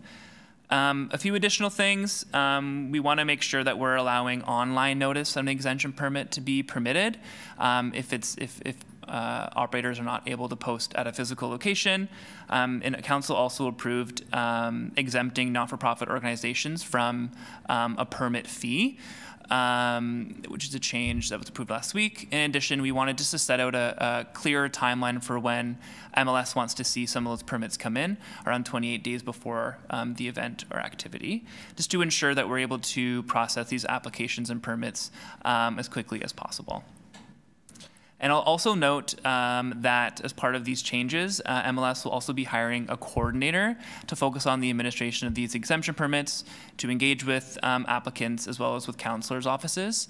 Um, we found that um, our staff were having a hard time keeping up with the volume of permits uh, and making sure that they're administered efficiently. Um, so I think this additional staff member will help um, with those issues.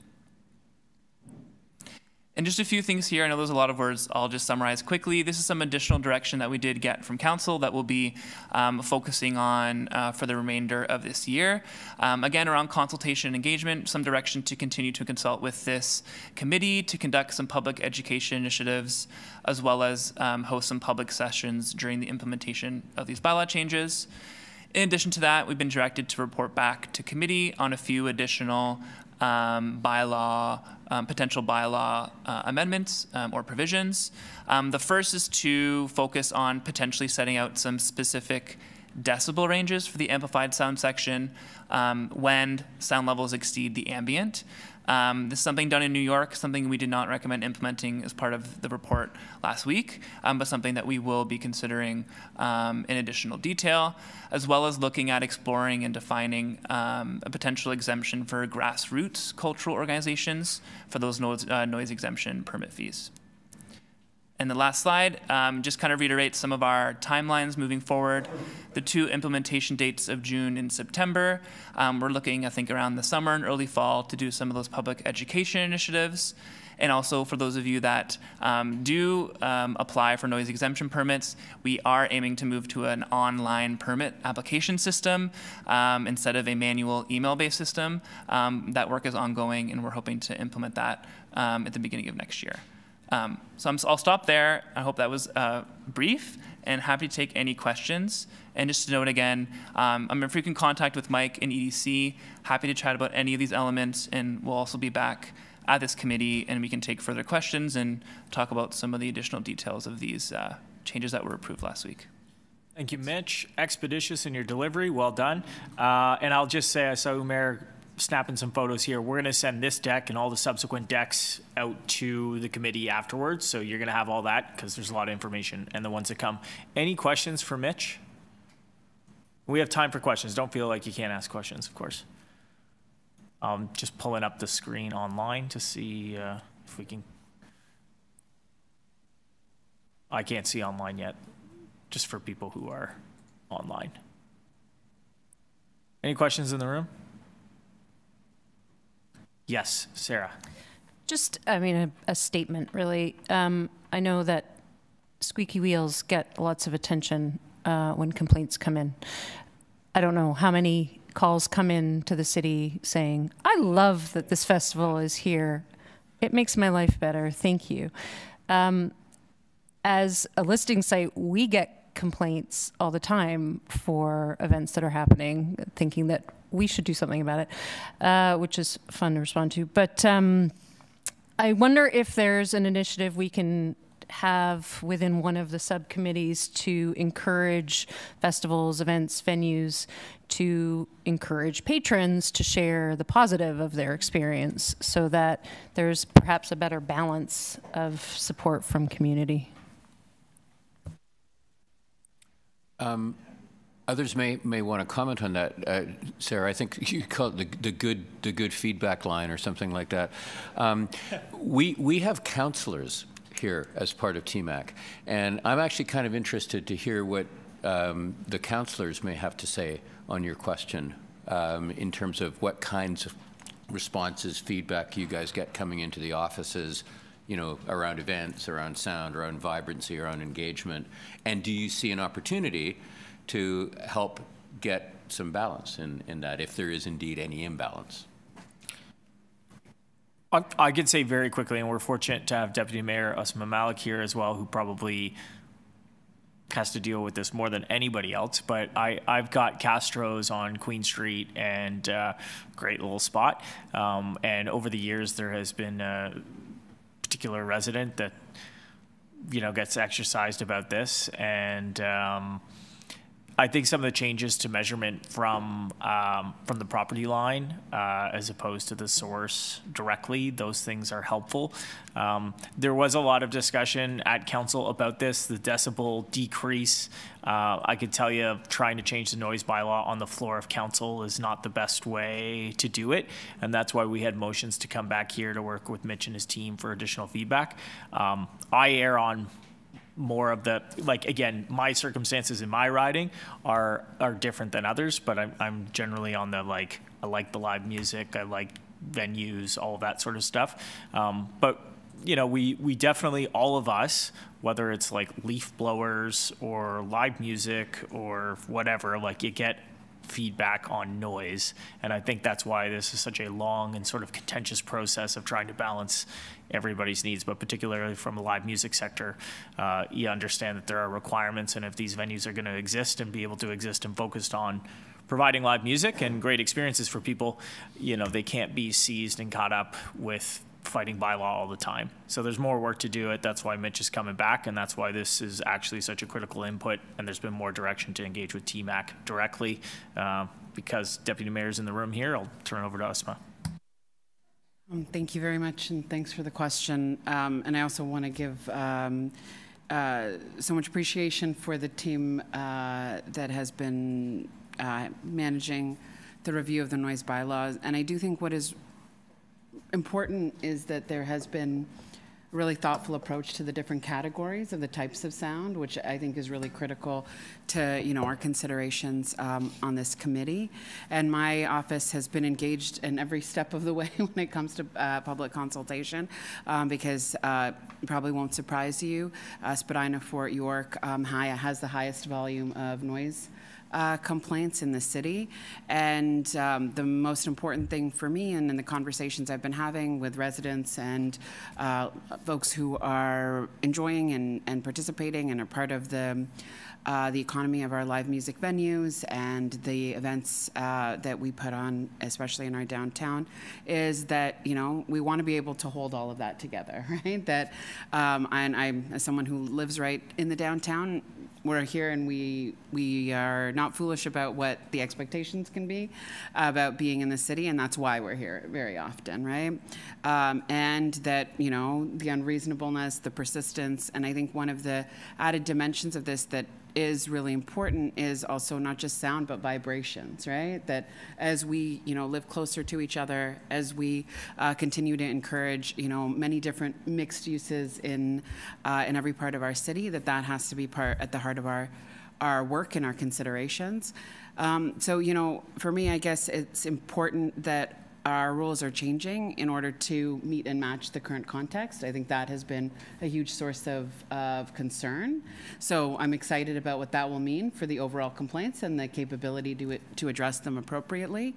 Um, and so I do think on, on the whole, um, being able to kind of understand what might go up in terms of the concerns and how quickly they might be addressed, we have to be looking at this through some agreed upon metrics. Um, and also, you know, that idea that, um, you know, who's doing it well or to be able to hear um, about experiences that have gone well, I do think that's probably an invitation that we should be giving to residents and business owners and, and uh, uh, event organizers, right, to be able to say what is working about your, our relationship um, to, you know, noise, the rules in the city, and that are, you know, kind of addressing the gaps that we've seen in the last little while. Um, and, you know, very often uh, the only time we do hear is when things go aren't, aren't going right. Uh, so when you don't hear anything at all, it's uh, it's just speculation, but also in a in some ways, no news is good news, right? And so uh, I think that while that might be a relief when we get to, to work on uh, some other issues in the office as well, I do think that that doesn't necessarily help us in terms of what are the lessons that we're learning and how can we continue to improve and move in the direction of what is working. So I do invite that as a consideration for the um, for the MLS team, and happy to uh, you know have a conversation about what that looks like in terms of our engagements, and especially because so many folks are reaching out to us on this particular issue, having um, I guess uh, unique uh, sight lines into this. Thanks, Deputy Mayor. Uh, Umair. All right. Thank you, first of all. Thank you to your team, Mitch. This is amazing. And what a relief. I know there's ways to go, but the changes that you've been able to uh, achieve uh, will have a real deep impact. I was taking a photo so I can send it to my team on Slack, and there's like 20 messages of clapping and celebration. So Good to hear. It's remarkable that you know this has been achieved. Uh, a few comments. I think um, we are one of those festivals in the Spadina Fort York region that has. It's just a high density area, and we get a lot of complaints. Uh, our first-hand experience has also been uh, with those. What do you call them? Enforcement bylaw enforcement officers. Um, and it's not been a pleasant experience. So if there could be a consideration on training these people, as in they're not coming in to bust a crime, eh, they're coming into community festivals and celebrations. So you know, there's a difference between a um, anti-terrorist squad, uh, you know, crack commando team and a law um, enforcement officer. Um, so just something to consider, really. On the point made by, I think was Sarah, for positive feedback, all of our festivals collect a lot of positive feedback from our patrons. We do surveys, we get social media comments. So I appreciate that uh, all of you get complaints. And when you're sitting at a policy level, you're looking at the amount of complaints. We have the data to offset those complaints as well. So if the councillor offices are sort of figuring out what balances the complaints versus the praises, we can always provide the data. We just need to be asked. Um, and that's really a thank you. Thank you. Maybe just make Thanks, one man. comment. I think maybe it might be fruitful for us to come back um, to this committee and maybe talk about some of the operational issues that you might have been experiencing with um, our staff, um, particularly when exemption permits are issued. Um, that's something that I, I mean, have a sight line into just by engaging with our staff, operational staff, but of course I'm not a bylaw enforcement officer, so I think as part of these changes are implemented, getting a sense of what we could do better and what we can actually change operationally would be really helpful. Um, so I'd be happy to commit to doing that. And also, I think um, some of your comments, Sarah, about um, getting more feedback about the positive elements of when even a permit is issued. I think when we go through these changes and change the permit template, there may be some pathways we could include for like, hey, call 311 if you have a noise complaint, but also here's another avenue if you are at this event um, and you're having a good time and you're having a good experience and the, the noise levels aren't excessive, um, that's something that we can take back and, and, discuss further as well. Thank you. Thanks, Umair. Thanks, Mitch. Uh, did I see Kristen online with the hand? Okay, over to you. Yeah, I, although I think actually Umair said quite literally exactly what I was going to say. A lot of us who host festivals and events, um, besides the kind of informal feedback of social media um, and things like that, a lot of us do conduct surveys.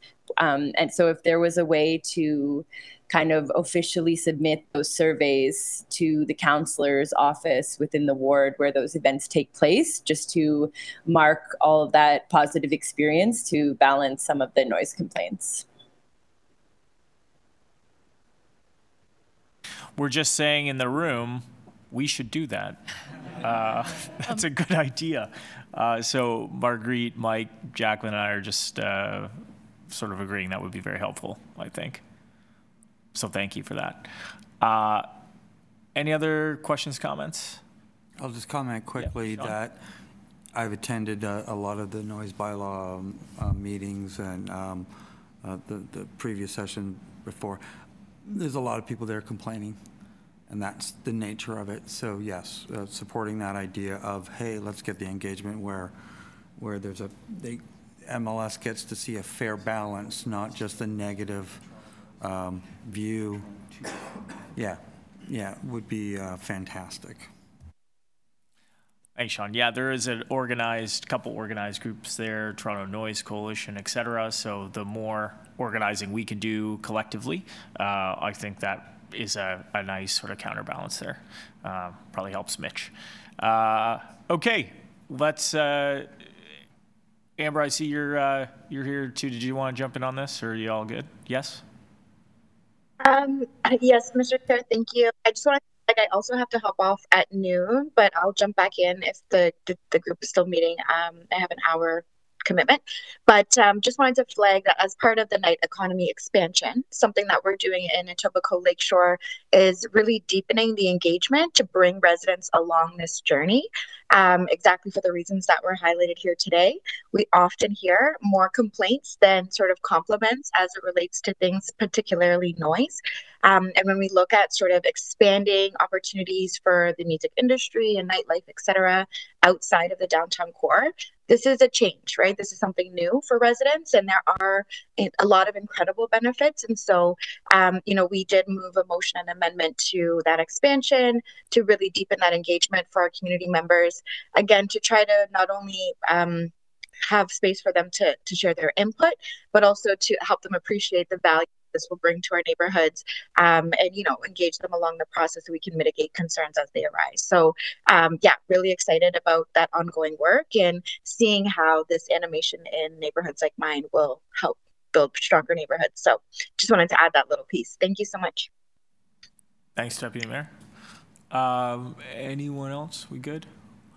Thanks, Mitch. Thanks to you and your team. Appreciate it. Thanks for being here, and we'll see you back again soon. Oh, I guess I have to formally say, uh, okay. Uh, formalities, hearing no further speakers. Uh, do I have a motion to receive the item? Okay, Sarah? Uh, Sarah Jarvis, motion all in favor? Carried. All right. Next item. 2.3, update, review of zoning, regulations for outdoor patios. Um, Mike Tanner was nice enough to help me with a little amendment here for a couple guitars and a couple amps and formalize that. But we're going to get a presentation here from Jamie Atkinson at City Planning. And uh, as mentioned, I'm going to have to roll, but we're going to leave the chair in Sean's capable hands. And thanks, everybody.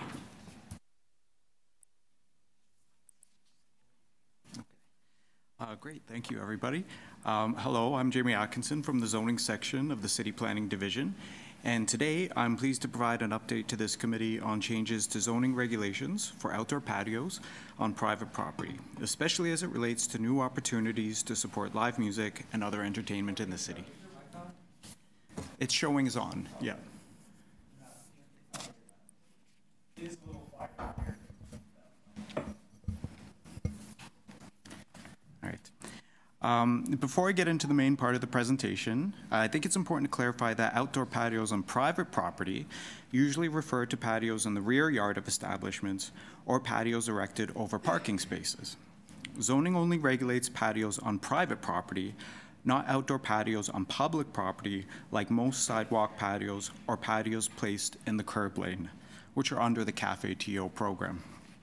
So with that being said, I'll move on to the zoning update for private po- property outdoor patios.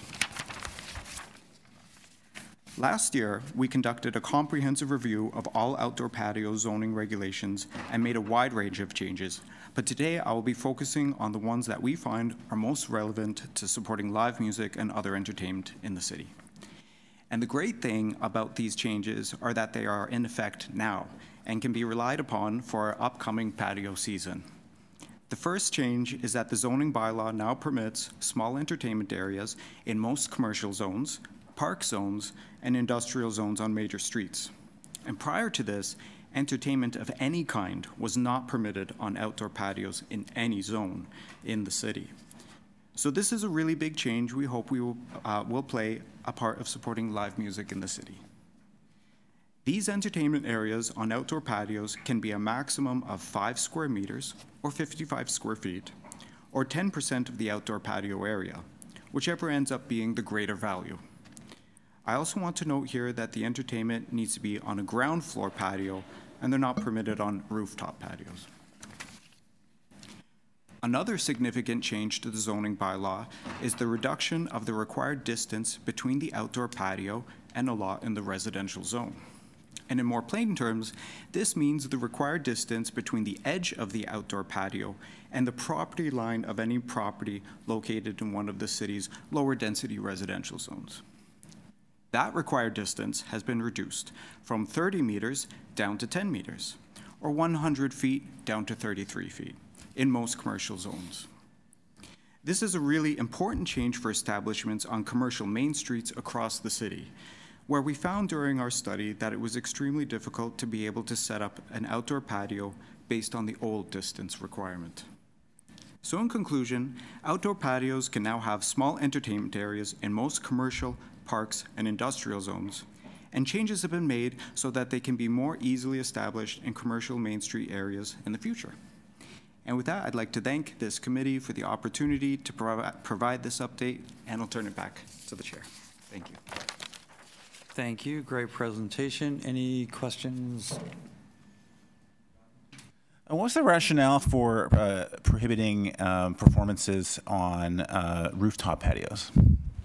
Um, that was uh, uh based uh, partially uh, upon um, just uh, complaints we received uh, you know, during the review process. And also, most of our commercial uses are oriented towards the ground floor. Um, so this is just kind of matching uh, that condition um, uh, to where we would uh, typically expect the commercial uses, especially like along the commercial main streets, like I was talking about, where you'll usually have the commercial use on the ground floor and then residential above that. So uh, it would also affect the residential uh, uses as well.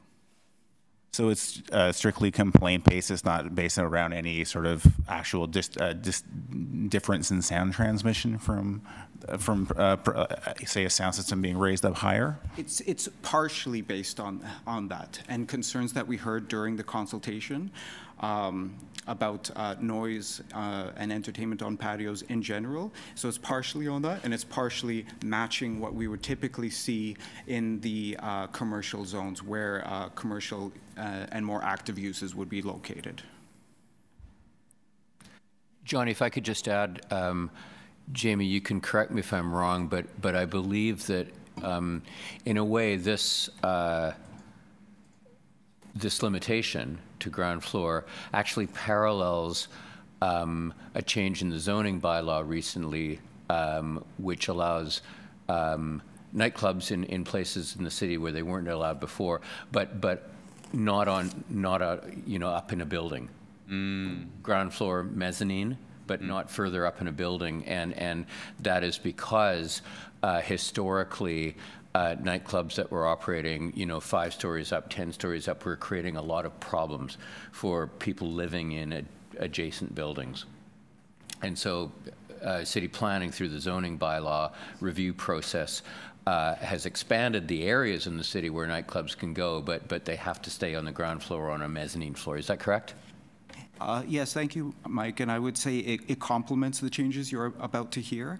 And I also just wanted to add that what we uh, what I've presented here are as of right conditions. So uh, the, these changes to the zoning bylaw allow you to um, establish uh, entertainment areas without you know sort of a, a, a more um, detailed approval process. But uh, where somebody would want to set up a rooftop um, outdoor patio that has entertainment, um, they can proceed with a, a, committee of adjustment application and discuss the mitigation efforts for um, that rooftop patio that has entertainment entertainment uh, to the committee for their uh, consideration.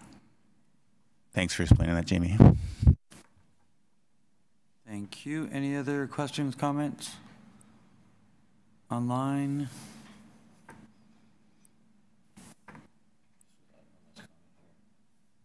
Um, just a quick thought. Uh, this is the kind of thing where I sometimes think that when the city makes a positive change, it should be screamed from the rooftops, no pun intended.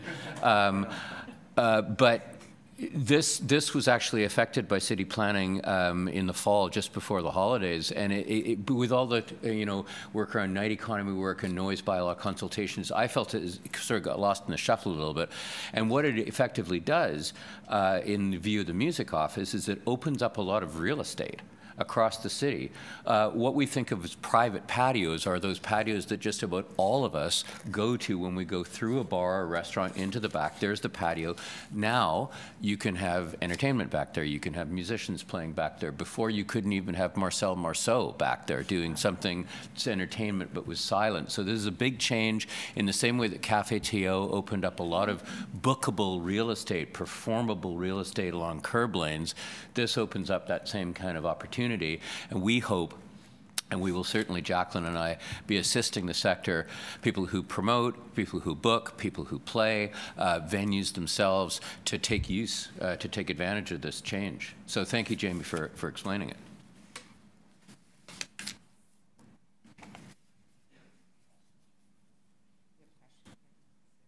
Sarah? Just a question. Um, I'm excited at the notion of a resurgence of the mime industry as a result of this. Thank you, Mike, for advocating for that. Um, so, to allow for this to really flourish, are there going to be systems in place or are there business supports to those venues to be able to um, bring in the infrastructure to support the musicians coming, or is the expectation that the musicians will just come with their gear and that's that?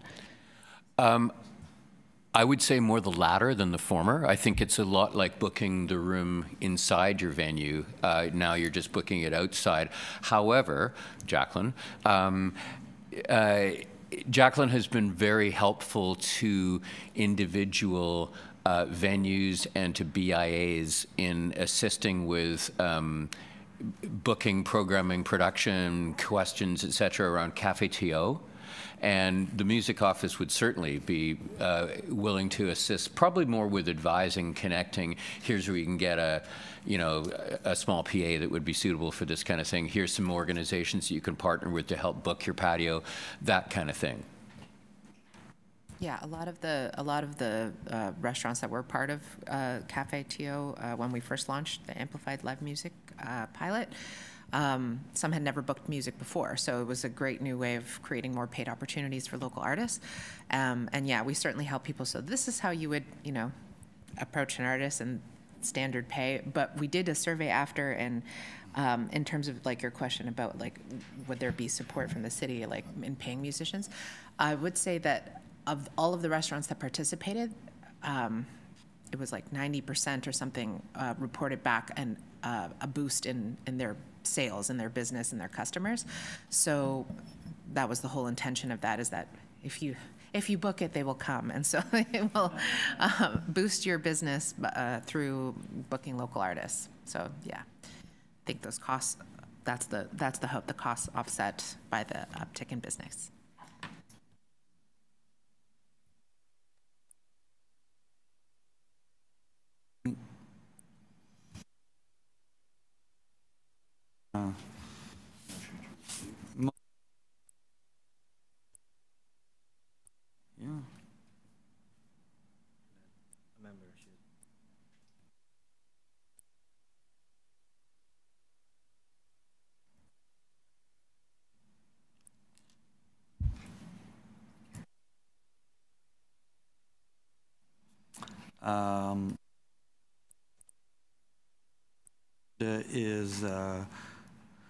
the Night Economy Town Hall. Um, Alok Sharma and Lauren McCollum from Economic Development and Culture will give a presentation on the Night Economy Town Hall. Hi, everyone. Mr. Chair, uh, if, I, oh. if I can, uh, I move receipt of the presentation. Great, thank you. Thanks, John. Uh, I'm Alok Sharma, the manager of the Visitor Economy Office, and I, we're just going to talk a little bit about the Night Economy Town Hall that took place on January 17th at Beanfield Center. Uh, so there were several presentations uh, from five different divisions, including economic development and culture, city planning, municipal licensing and standards, as well as social development, finance and administration, and Toronto Public Health. And we also had opening remarks by the Night Economy Champion, Councillor Paul Ainslie, as well as Deputy Mayor Malik. So thanks to both of them. Uh, we're happy to say that we had well over 100 people in attendance uh, in person, which was great for the first uh, Night Economy Town Hall. And we had 200 plus people join us virtually. So the purpose of the Night Economy Town Hall was really to share the findings of the Toronto Night Economy uh, Review. And uh, th through that consultation process, we, uh, we had input from about 3,300 people. And there were a couple of things that we heard, and not, uh, I don't think a lot of this is going to be a surprise, but it's important for us to touch upon. Cost, uh, transportation, and access to nearby activities are the most frequent barriers for people to participate in, night, in nighttime activities. So getting to the downtown core where a lot of nighttime activities was, uh, was certainly a barrier, as well as the cost to, to, to get uh, uh, downtown. Uh, conflict related to sound and noise is one of the biggest concerns that was shared uh, at the consultations. And what was interesting about this, it wasn't just neighborhood associations, it was also uh, night operators as well as night economy patrons. And uh, operators themselves really emphasize the need uh, to have, uh, to be able to be flexible. So that need for flexibility, adaptability, and autonomy was really crucial for the night economy to thrive. All of this really led to the need of updating the zoning and licensing regulations to better reflect the needs of the industry. And I'm going to pass it now to uh, Jamie, who's going to speak a, a, bit about the zoning regulatory changes, and then to Mitch, who will talk about the licensing changes. Jamie? Uh, great. Thank you, Alok. Um, so now we'll discuss updated changes to the zoning bylaw for entertainment in the city. And just as a quick summary, zoning regulates where certain entertainment uses are permitted to locate in the city and how the space can be used. And then they are complemented with business licensing, licensing regulations, which will be discussed next. So, effective January 1st, 2025, entertainment will be able to occupy up to 25% of the area in restaurants or bars in most commercial, parks, and industrial zones. In addition to live music, these entertainment areas can include arcade games, a dance floor, a DJ area, karaoke, or physical games like mini golf or bowling. The maximum area used to be 6%, but we heard through our consultations that the former 6% amount was not adequate to realistically provide entertainment and can be difficult to measure out. The second major change to the zoning is the ability for nightclubs to be established in commercial zones outside the downtown area, in places like Etobicoke, North York, and Scarborough. Prior to this change, nightclubs were permitted in the downtown area only, which we heard during public consultations creates a barrier to people accessing a full range of entertainment options outside the downtown area. These nightclubs are subject to some additional zoning conditions, the most notable being that they must be in a non-residential or fully commercial building. And now we'll turn it over to Mitch to provide a licensing update. Sorry, I'm sticking over here. Um, whiplash, moving your heads around. Um, I'll speak just to some of the licensing elements that'll be um, in effect on January 1st, 2025.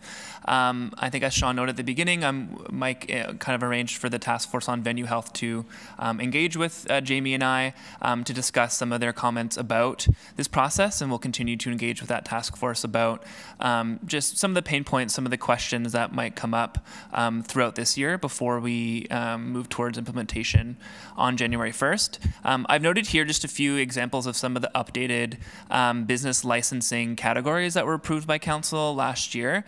Um, so I'm sure as many of you know, our, our uh, licensing bylaw um, it's quite antiquated, um, uses quite strange language. A lot of the licensing requirements um, um can be, um, you know, a bit superfluous or odd. So we really work to try and modernize this framework, set out some clear categorizations for businesses. Um, so you'll, you know, the eating and drinking establishment, we really wanted to enable a more flexible hybrid definition here, make sure it's aligning more with the zoning bylaw. and the middle piece, I think, is uh, the most important to clarify, which is the introduction of a new license category category um, called an entertainment place of assembly um, category. Um, this is intended to capture public halls, live music venues, other rental spaces for entertainment um, with a focus on patrons that are attending venues as an entertainment experience or as an audience member. Um, so this was um, per direction from council to have kind of a really specific pathway um, for live music venues to fit into you know an updated um, licensing framework. And on the right, we also made some changes to kind of simplify, modernize, and strengthen our definition requirements for um, a nightclub, um, and also strengthening some of our um, security requirements um, as part of the licensing bylaw. Uh, we'll move to the next slide. This just lays out um, what the transition period will look like. Um, so again, these changes were just approved um, in uh, at the end of last year. Um, so these are a few things that we as a city are um, will be implementing throughout 2024. Um, and again, we will continue engagement um, with this body. Um, so the changes will take effect on January 1st, 2025. So we plan to do um, many things before then, um, which includes training enforcement staff, updating our business and permits online licensing portal, um, which we are also planning some portal enhancements throughout this year to support um, new and existing businesses. Um, notifying, of course, license holders about upcoming changes. There will be a few new requirements for noise control plans and patron management plans as part of this, um, as part of this framework. Um, so ensuring that operators and businesses are engaged in the development of those templates, making sure they're not too onerous, they're reflective of some of the products that are already developed um, um, by businesses in this sector particularly, and making sure that all of our information on city web pages and through 311 is updated um, according to the changes approved by council. Um, so I'll stop there on the licensing piece and I'll pass it back to Alok and Lauren. Oh, thank you. Thanks, Mitch and Jamie. Uh, next slide. Yeah. Great. And so now we just want to talk a little bit about economic development and culture and what we plan uh, moving forward. So we did talk about how this was uh, an inaugural uh, Night Economy Town Hall. So moving forward, this will be taking place uh, on an annual basis. And it's uh, really an opportunity and a space for city, public, and industry to really stay connected. Uh, so look out for the next one in 2025. Uh, the night economy review took place because of the work of member divisions of the internal working group, which still exists, and these relevant divisions will continue to work to address what we heard in the night economy review, and also uh, we're planning on expanding the invite uh, to new members uh, of different divisions within the city, because one thing that we uh, we certainly realize is that the night economy affects the entire city and is citywide and touches upon many, many different divisions. Uh, one thing that we're uh, going to also be doing this year is reconstituting the Night Economy External Working Group. And this will be created to facilitate further industry engagement. And the uh, Night Economy um, External Working Group will also uh, uh, have representation citywide. So not just from the downtown core by any means, and not just from uh, one particular part of the night economy. For instance, not just venue operators, but it'll uh, be very diverse uh, and, and representative uh, citywide, but also of the industry itself. And uh, finally, uh, uh, there will be a focus will be placed on building a centralized communication channel, and this will enhance the distribution of the Good Neighbor Guide, which you'll hear more about, and other valuable resources that the city provides. This enhanced communication will promote community building and awareness of citywide plans such as SafeTO, our health and our city. And now over to Lauren, who will talk a bit more about the Good Neighbor Guide as well as what we heard at the town hall. Thanks so much, Alok. Uh, Laura McCallum, she, her, Sector Development Officer for Visitor Economy Office. So uh, Alok, Jamie, and Mitch have given you some of the information that folks received at the Night Economy Town Hall based on the findings of the Night Economy Review. But it was also a bit of a sneak peek launch of a resource. Uh, so EDC took the information from the Night Economy Review and we heard that people need guides. It's a tricky place to navigate all the permits and different things that happen. So this is is our way of trying to respond to that. So created by the Music Office and the Visitor Economy Office with input from all those various members of the internal working group, a digital version of this guide is going to be featured on the Night Economy webpage soon, so keep your uh, emails open for that notification.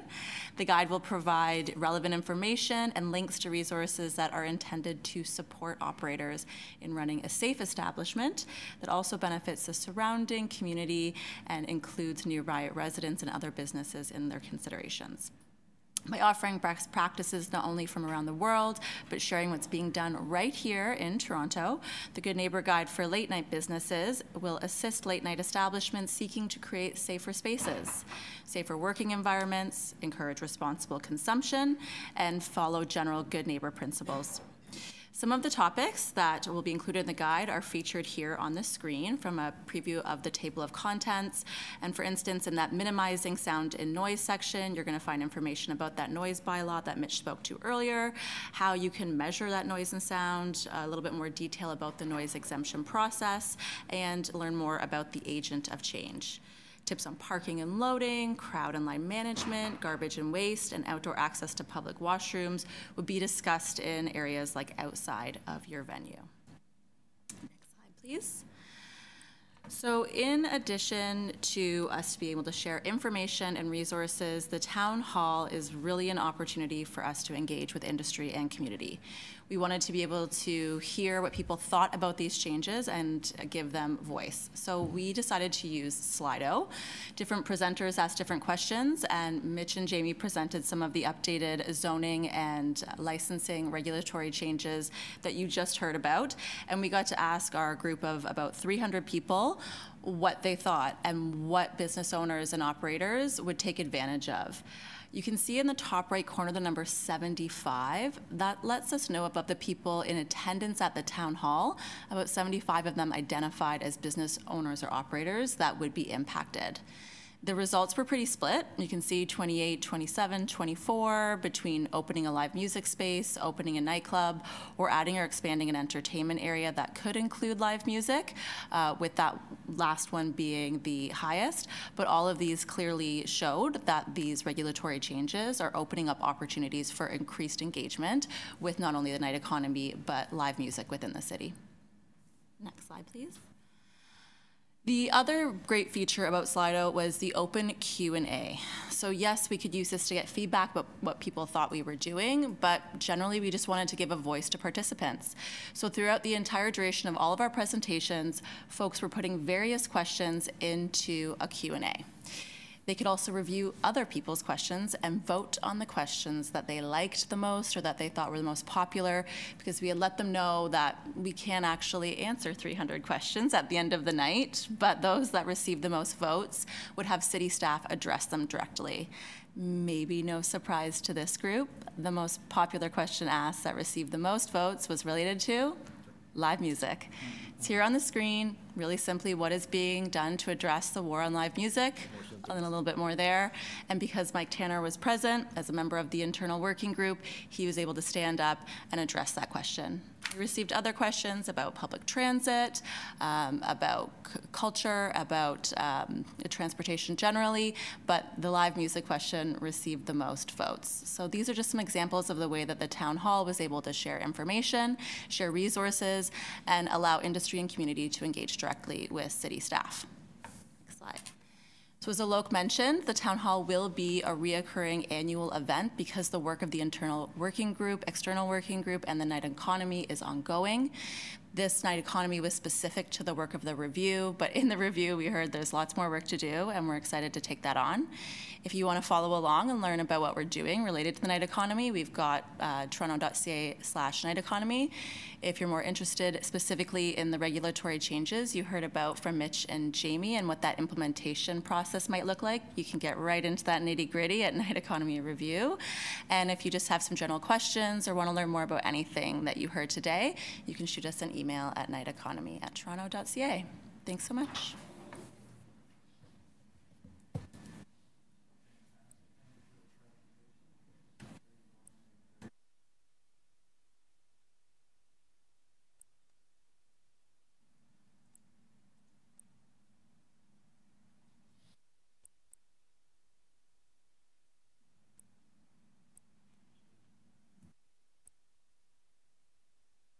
And uh, looking forward to the annual uh, meeting. Um, I think that's a fantastic idea for engagement.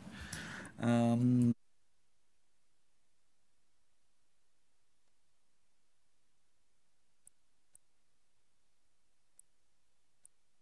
Sorry, Mr. Chair, it's Councillor Ainslie online. I had a question about the Slido deck.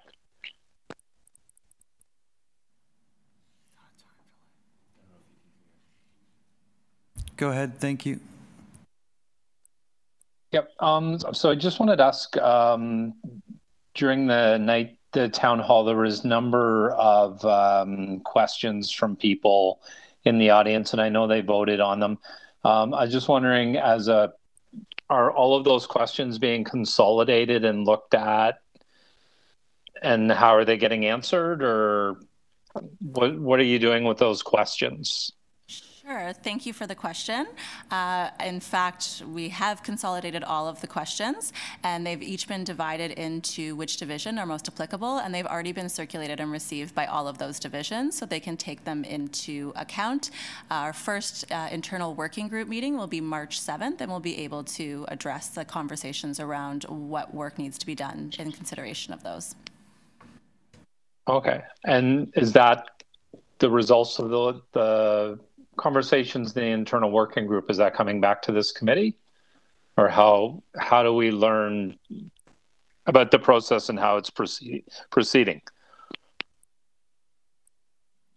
uh, that's something that we can certainly talk to uh, Mike Tanner about. Of maybe we do an annual report of uh, what's happening uh, along the night economy, and, uh, as opposed to at each TMAC. But I'll I'll let Mike to speak to that. Um, yeah, th thanks for the question, Councillor. It's a good one.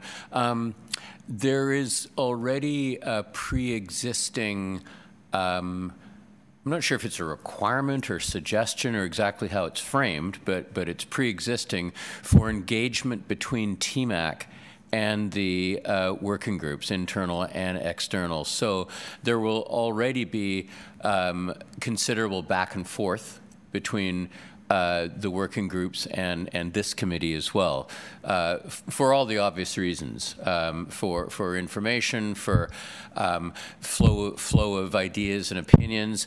Uh, as you've heard from, um, from Mitch Thibeault particularly, there are going to be uh, specific occasions and, and topics on which MLS wants to further engage with TMAC members, particularly uh, in, in some of the uh, task teams as well. So um, we can we can work with um, the night economy team specifically on ensuring that that this committee is kept apprised of, of how the questions are, are parceled out, how the answers, and what the main sort of themes of communication are there.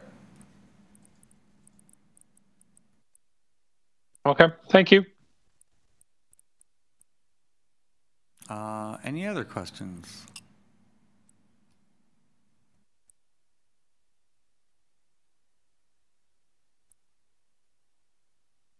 Oh, I did it backwards. There we go. Um, he hearing no uh, further speakers, do I have a motion to receive the item? Jonathan, you want to go again? All those in favor, please raise your hand. Any opposed? Motion carries. Um, our next item uh, is Toronto Culture and Economy Plans. Ben McIntosh and Adam, I'm going to say, did did did did Ikes um, for Economic Development Culture will give a presentation to the committee. Please go ahead. I didn't even get close to your name, did I?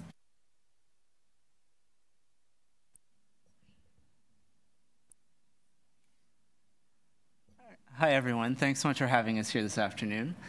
Uh, really excited to talk to you today about uh, upcoming strategic plans that we're developing in the Economic Development Culture Division, uh, including the new Culture Plan, as well as our new Economic Development Plan. So uh, my name is Ben McIntosh. I'm Manager of Cultural Partnerships with uh, the Economic Development Culture Division. I'm joined here today by my colleague Adam.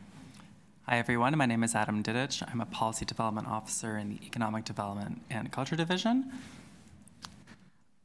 Uh, so I'll begin with just a little overview of what these projects are all about. We're still very much in the early stages, so we, are seeing this as an initial visit to the, the committee to introduce you to the work, talk a little bit about how we're engaging the community and going about the process, and we'll be coming back later on in the process once we have some recommendations to share with you all as well. So if you want to go to the next slide. Uh, so yeah, as I mentioned, we'll walk through the overview of the strategies and how we're engaging the community. We'll share a little bit about what we've heard so far, uh, and also seek your input on, on the overall direction of where we're going with the, the process and uh, whether the, the key themes we're hearing so far uh, resonate with you based on your, your initial look. Uh, so there's three strategic planning processes currently underway in economic development culture. Uh, one of these is to develop the, the new culture plan. Its working title is Action Plan for Toronto's Culture Sector, but rest assured we'll come up with something really catchy by the end of it. Uh, this is going to be a 10 year plan that sets out a renewed vision for how we support culture in the city. And that includes how we, the city and Toronto Arts Council support artists and arts organizations, uh, how we support creative industries in the city, uh, cultural heritage, and of course, uh, how people experience culture in the city. So we really want this to be a, a, plan for everyone, whether you're an artist or practicing creative, or whether you're just someone who's interested in culture and wants more opportunities to experience it in your neighborhood. Uh, alongside this, we're also developing a new economic development plan, which uh, again, pending, pending catchy title, uh, is currently the action plan for Toronto's economy this is going to set out a, a 10-year plan to uh, look at Toronto's uh, uh, economic systems and how, how, we could, the city can enhance the competitiveness of Toronto uh, while still maintaining a really important focus on inclusive economic development and making sure that uh, the city's economy provides opportunities for everyone to, to participate and ha have uh, good, meaningful jobs in addition, we're also developing a internal divisional strategy. So this is our, little, our strategic plan that's going to be a roadmap for how we implement all these things uh, together. But the main things we want to talk to you today about the, are the two public-facing strategies, the, the culture plan and the economic development plan. Uh, so in terms of the project timelines, uh, we kicked this off uh, uh, earlier in 2023 with the, our preliminary, preliminary work and kicked off public engagement in uh, August of last year. So uh, this is the engagement's happening uh, up until around April of this year. Uh, and it, concurrently, we're also working on actually developing the recommendations. So going through everything we've heard from, from the community uh, and using that to, to lay out uh, some, some draft directions for where we'll ultimately head. The final plans are, are currently scheduled to be presented to City Council for approval in September. Uh, so if you'd like to go to the next slide, please. Uh, so before we get into engagement, I just wanted to set the stage a little bit about for what, what the culture plan is about and you know, why are we doing this now. So the culture plan is going to be setting out a new 10-year vision for how we support culture in Toronto it's been some time since we had our last culture plan. It was called Creative Capital Gains, and it was adopted by City Council in 2011. Obviously, a lot has changed in Toronto in, uh, since that time. Uh, and when you look at the goals of the, the previous culture plan, I think we can say a lot of the key actions in there were achieved. And there's also some really different objectives that we're, we're seeing as a city. Uh, I think the overall theme of creative capital gains could be characterized as it really cementing Toronto's reputation as an international creative capital. And I think arguably we've gotten there. There's still, but there's some new challenges uh, and also some ongoing pressing ones that we still need to address through a renewed strategy. So uh, access to cultural space, for example, was a, it was already a priority in the last plan, but it remains a huge issue for the sector today. So how will we deal with this issue going forward? We're also talking about equity and inclusion in a completely different way than we did in 2011, and we need a new policy framework to really reflect this. Uh, so there's also, of course, a real moment coming out of the pandemic. There's been so much talk about how we can renew the sector, build back in a, a better way. Uh, so we really want to be able to leverage that energy uh, to create a visionary new policy for where we'll head in the future. Uh, so in terms of engagement for this plan and how we're going about it, so we've, uh, we're working with an amazing consulting group called Monumental Projects, who you may be familiar with. Uh, they're running a series of engagement that includes some really close uh, community conversations, which are sort of focus group style things, as well as a lot of bro broader public engagement. And uh, looking around the room today, I see at least two people who are at our um, at our community conversations, and I think there are a few more based on the online list. So uh, we're really happy to have some really strong voices from the music sector present. Uh, but in terms of the, the community conversations, so these were eight sessions that we did that focused on specific themes. Uh, the first three were held with uh, commu uh, specific communities. So we held one with uh, Indigenous artists and creatives, one with Black artists and creatives, and one with uh, artists and creatives who are, are, are, deaf and have disabilities. We wanted to make sure we held these uh, community-specific engagements first to be able to use their insights to help frame all of the work we did and make sure we're, we're really approaching it from an inclusive and equitable way. The other community conversations were focused on specific themes that we knew were, new of interest to the sector. Uh, so I, I, mentioned earlier, creative space is a huge issue in the sector. No surprise to anyone again. But uh, we ended up doing two uh, community conversations about that just because there was so much to talk about. We also held a session about the impact of creative technology on arts and culture work. Uh, and we also held one that was really about sort of big dreaming for the future. We called it Arts and Culture as a Catalyst for Change. Uh, lastly, we also had a session uh, exploring the ongoing recovery from the COVID-19 pandemic and the continued impacts on arts organizations and cultural work, uh, and what some of the strategies are that the city can under undertake to support people in recovering from that. In addition, we have also held uh, artist-led engagement sessions, and these were some really fun events where we, we hired five artists who we uh, worked in different neighborhoods across the city they were given a fairly high level brief of, you know, we want to get feedback from people about how they experience culture in their neighborhood and how they want to do it in the future. They were then invited to design a, an engagement activity uh, that they felt would be relevant for their communities. So uh, one, we had an artist who did a, a, weaving workshop with her community that included a, a discussion about uh, challenges facing practicing artists. We had another one who did tours of uh, murals in the, the Bickford Park neighborhood um, and also used that as an opportunity to, to seek feedback about uh, practicing artists working with the city and how we can better support them. So we got, we got a lot of really interesting feedback from those sessions and also from people who aren't normally engaged in city consultations. So I think overall was a, a successful strategy to expand the reach of what we've been doing consultation-wise. We also have opportunities for absolutely anybody to get involved. So uh, we're holding two virtual town halls, the first of which is tonight. So if there's still time to register if you'd like, it's at uh, 6.30. And we have another one uh, next week on the 22nd. Uh, in addition, there's a online survey where anyone can provide their feedback as well. Uh, at the end of this process, we're going to take a look at everybody who participated, and if there's any gaps, we're going to be holding additional sessions to make sure we capture appropriate feedback. So, for example, if we see the list of participants and there's not quite enough from the music industry, we're definitely going to be doing follow-up uh, workshops led by staff to make sure that we're, we're getting those perspectives incorporated. I already know that uh, Mike, Marguerite, and the team are planning a session with creative industries at the start of March. Uh, lastly, we also have an external advisory panel who are providing advice on the project. Uh, one of your own is represented there. Thank you, Umair, for all your support on this. Uh, but that panel includes 20 uh, community leaders from various sectors and communities who are helping to provide advice on the shape of the plan. I'll hand it over to Adam now, who will chat a little bit about how we've been engaging on the economic development plan. Thanks, Ben. Um, if we can just go to the next slide. Okay. Uh, so in terms of engagement, the action plan for Toronto's economy has three general engagement touchpoints. Uh, first, through an economic advisory panel, second, through a public survey, and third, through dedicated sector-specific public engagement sessions, um, the latter of which are largely being supported by our consultant, the Canadian Urban Institute. In terms of the Economic Advisory Panel, the panel is made up of 26 industry leaders and subject matter experts across different Toronto-focused organizations uh, who have provided advice from a variety of different subject matter perspectives.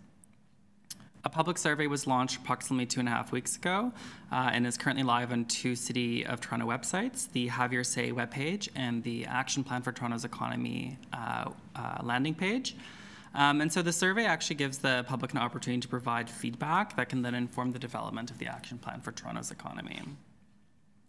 Dedicated public engagement sessions continue to provide insight from a wide variety of small business owners, uh, business associations, and cultural organizations uh, to also provide feedback to inform the development of the action plan for Toronto's economy.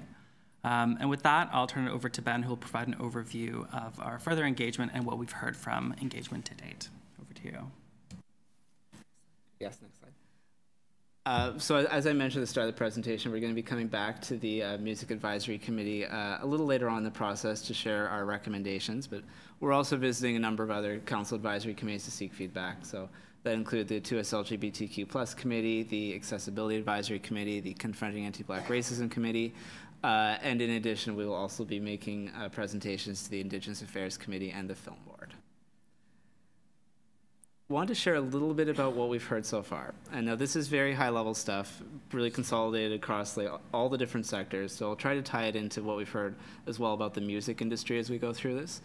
Uh, but to start out, very, very clear message that the lack of affordable, accessible space for culture is a top need across all different disciplines of culture and creative industries. And you know, when it comes to, to music, we've heard so much, obviously, around the challenges facing live music venues over the past several years. Uh, but in addition, we're also hearing a lot about the pr pressures facing rehearsal spaces.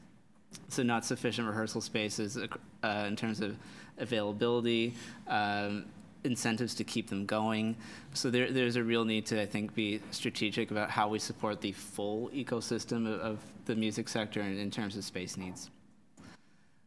We've also heard about uh, a lot about the distribution of cultural funding uh, through current systems, and that it, it, feels inequitable to a lot of folks.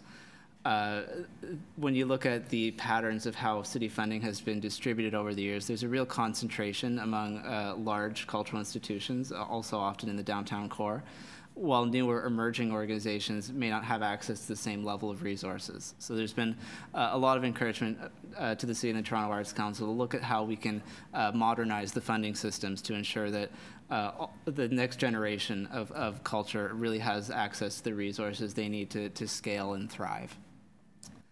Uh, this also included uh, comments around the distribution of cultural programming across the city, a real continued interest in making sure that uh, all residents have access to high quality cultural programming close to where they live and all year round. Uh, transportation uh, is not surprisingly coming up as a big issue as well, and while not immediately within the scope of a culture plan or economic development plan, it is so connected to the work we do, and we have to realize like culture and the economy are linked to so many aspects of city infrastructure that we really need to think holistically about how we, we leverage all the different parts of city building to support uh, the economy and culture. Uh, increased activations in winter and fall months, again, a, a real interest in having uh, things to do in the city all year round related to culture. Uh, a need for greater supports related to emerging tech and creative practices, and I'm sure this is one where I think we can really dig in with the members of the committee at our, our future meetings about some of the ways that we can consider how the city in, uh, interacts with and sets policies related to, to technology that's impacting the music sector. We've also heard about the need for greater research and impact measures. Uh, we actually have a great partnership underway right now with the University of Toronto to build a new set of outcome measures uh, that we're going to use to measure the impact of this plan, uh, which we'll be excited to share with you at our next meeting as well. Uh, and lastly, in closing, there's really been a desire for a lot of connection, community building, uh, mentorship programs, career uh, capacity building. Uh, we're hearing a lot about the how culture and the economy really contribute to community in the city, and a feeling of coming out of the pandemic where folks are still feeling a bit isolated. And what can we do to leverage culture to, to bring people together in a better way?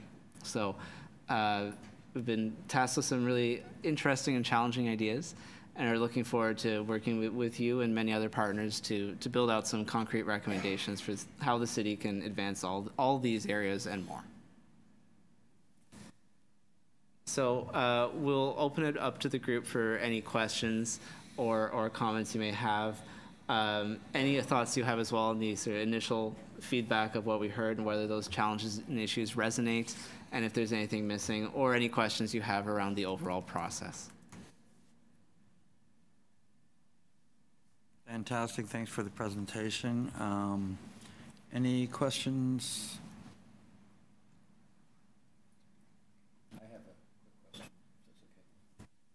Uh, th thanks, uh, Ben. Thanks, Adam.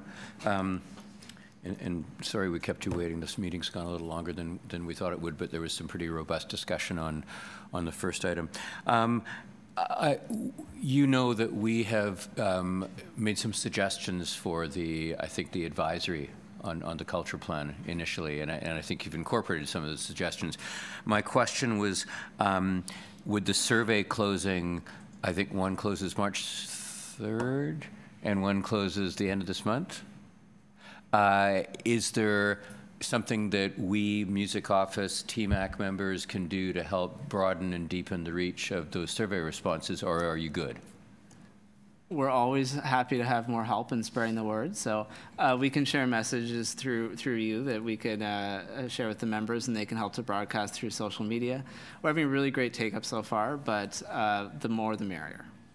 Okay, that that that would be great. I think um, the the TMAC is uh, made up of all these different representations from different parts of the industry, and they're all kind of avatars uh, and, and, vehicles for communication into different parts of the music community as well. Um, so, so we can rely on them to help spread the, the word around.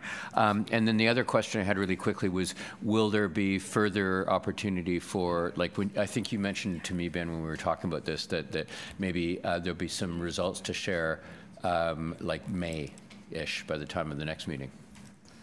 For sure, yes. So we are planning to come back to the, the Music Advisory Committee once we have draft recommendations in place to seek your feedback on those directions. Uh, and for the culture plan as well, we are going to be putting out a public report that anyone can provide impact on it, uh, not impacts, or comments on. Um, so yes, there'll be lots of opportunities to engage further in developing the plan. Thank you. Any other questions?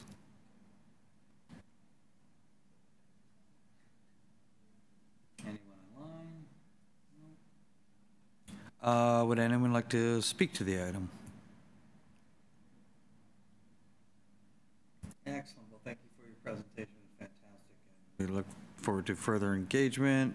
Um, hearing no further speakers, do I have a motion to receive the item?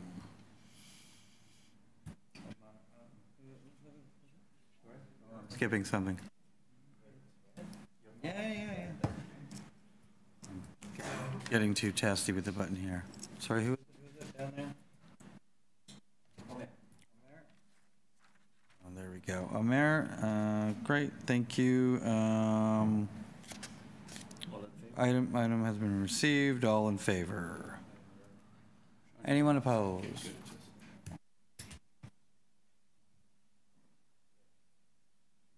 Carried. Okay, so the next, uh, next, I think this is our final item. Yes, yes. Uh, um, is uh, meeting schedule 2024. Mike Tanner, Program Manager, Music Sector Development, Economic Development, Culture. We'll discuss. Yeah. 2024 committee meeting dates. Please go ahead. Thank you, Mr. Chair.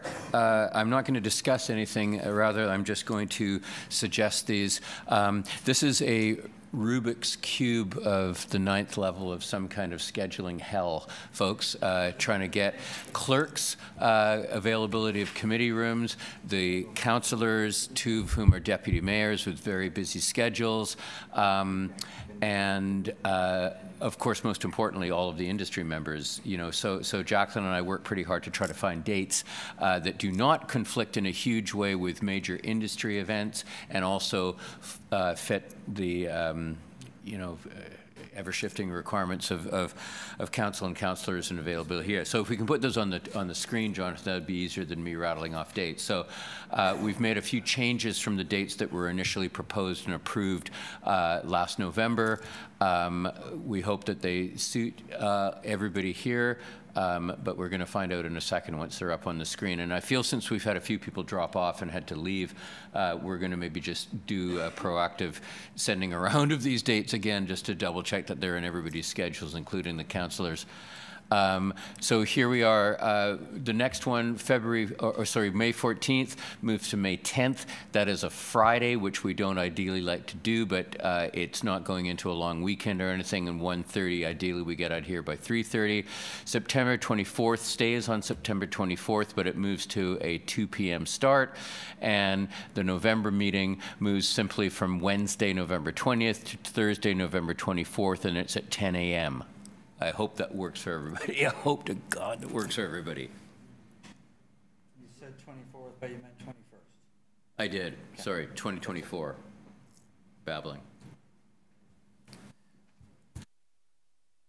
I mean, I guess we vote on this, right? Yeah. Uh, do we move? Uh, Yeah, you can move it. okay. So, so uh, this is to move the, to amend the uh, 24 24 schedule to the dates that Mike had mentioned. Um, all in favor? Anyone opposed? Moved. Um, and we will share these online and Yes, confirm again and, We'll yeah. that this afternoon. Um, and we good there?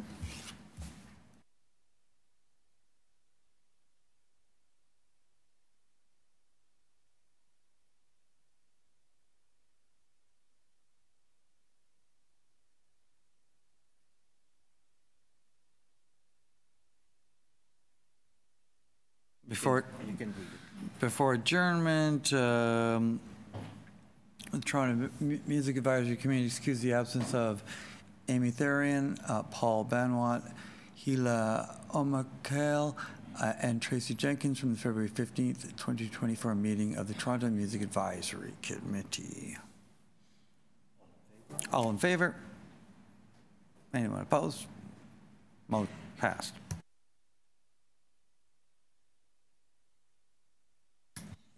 That concludes our business for today. Thank you, members, staff, presenters. The meeting is now adjourned. Thanks, everybody.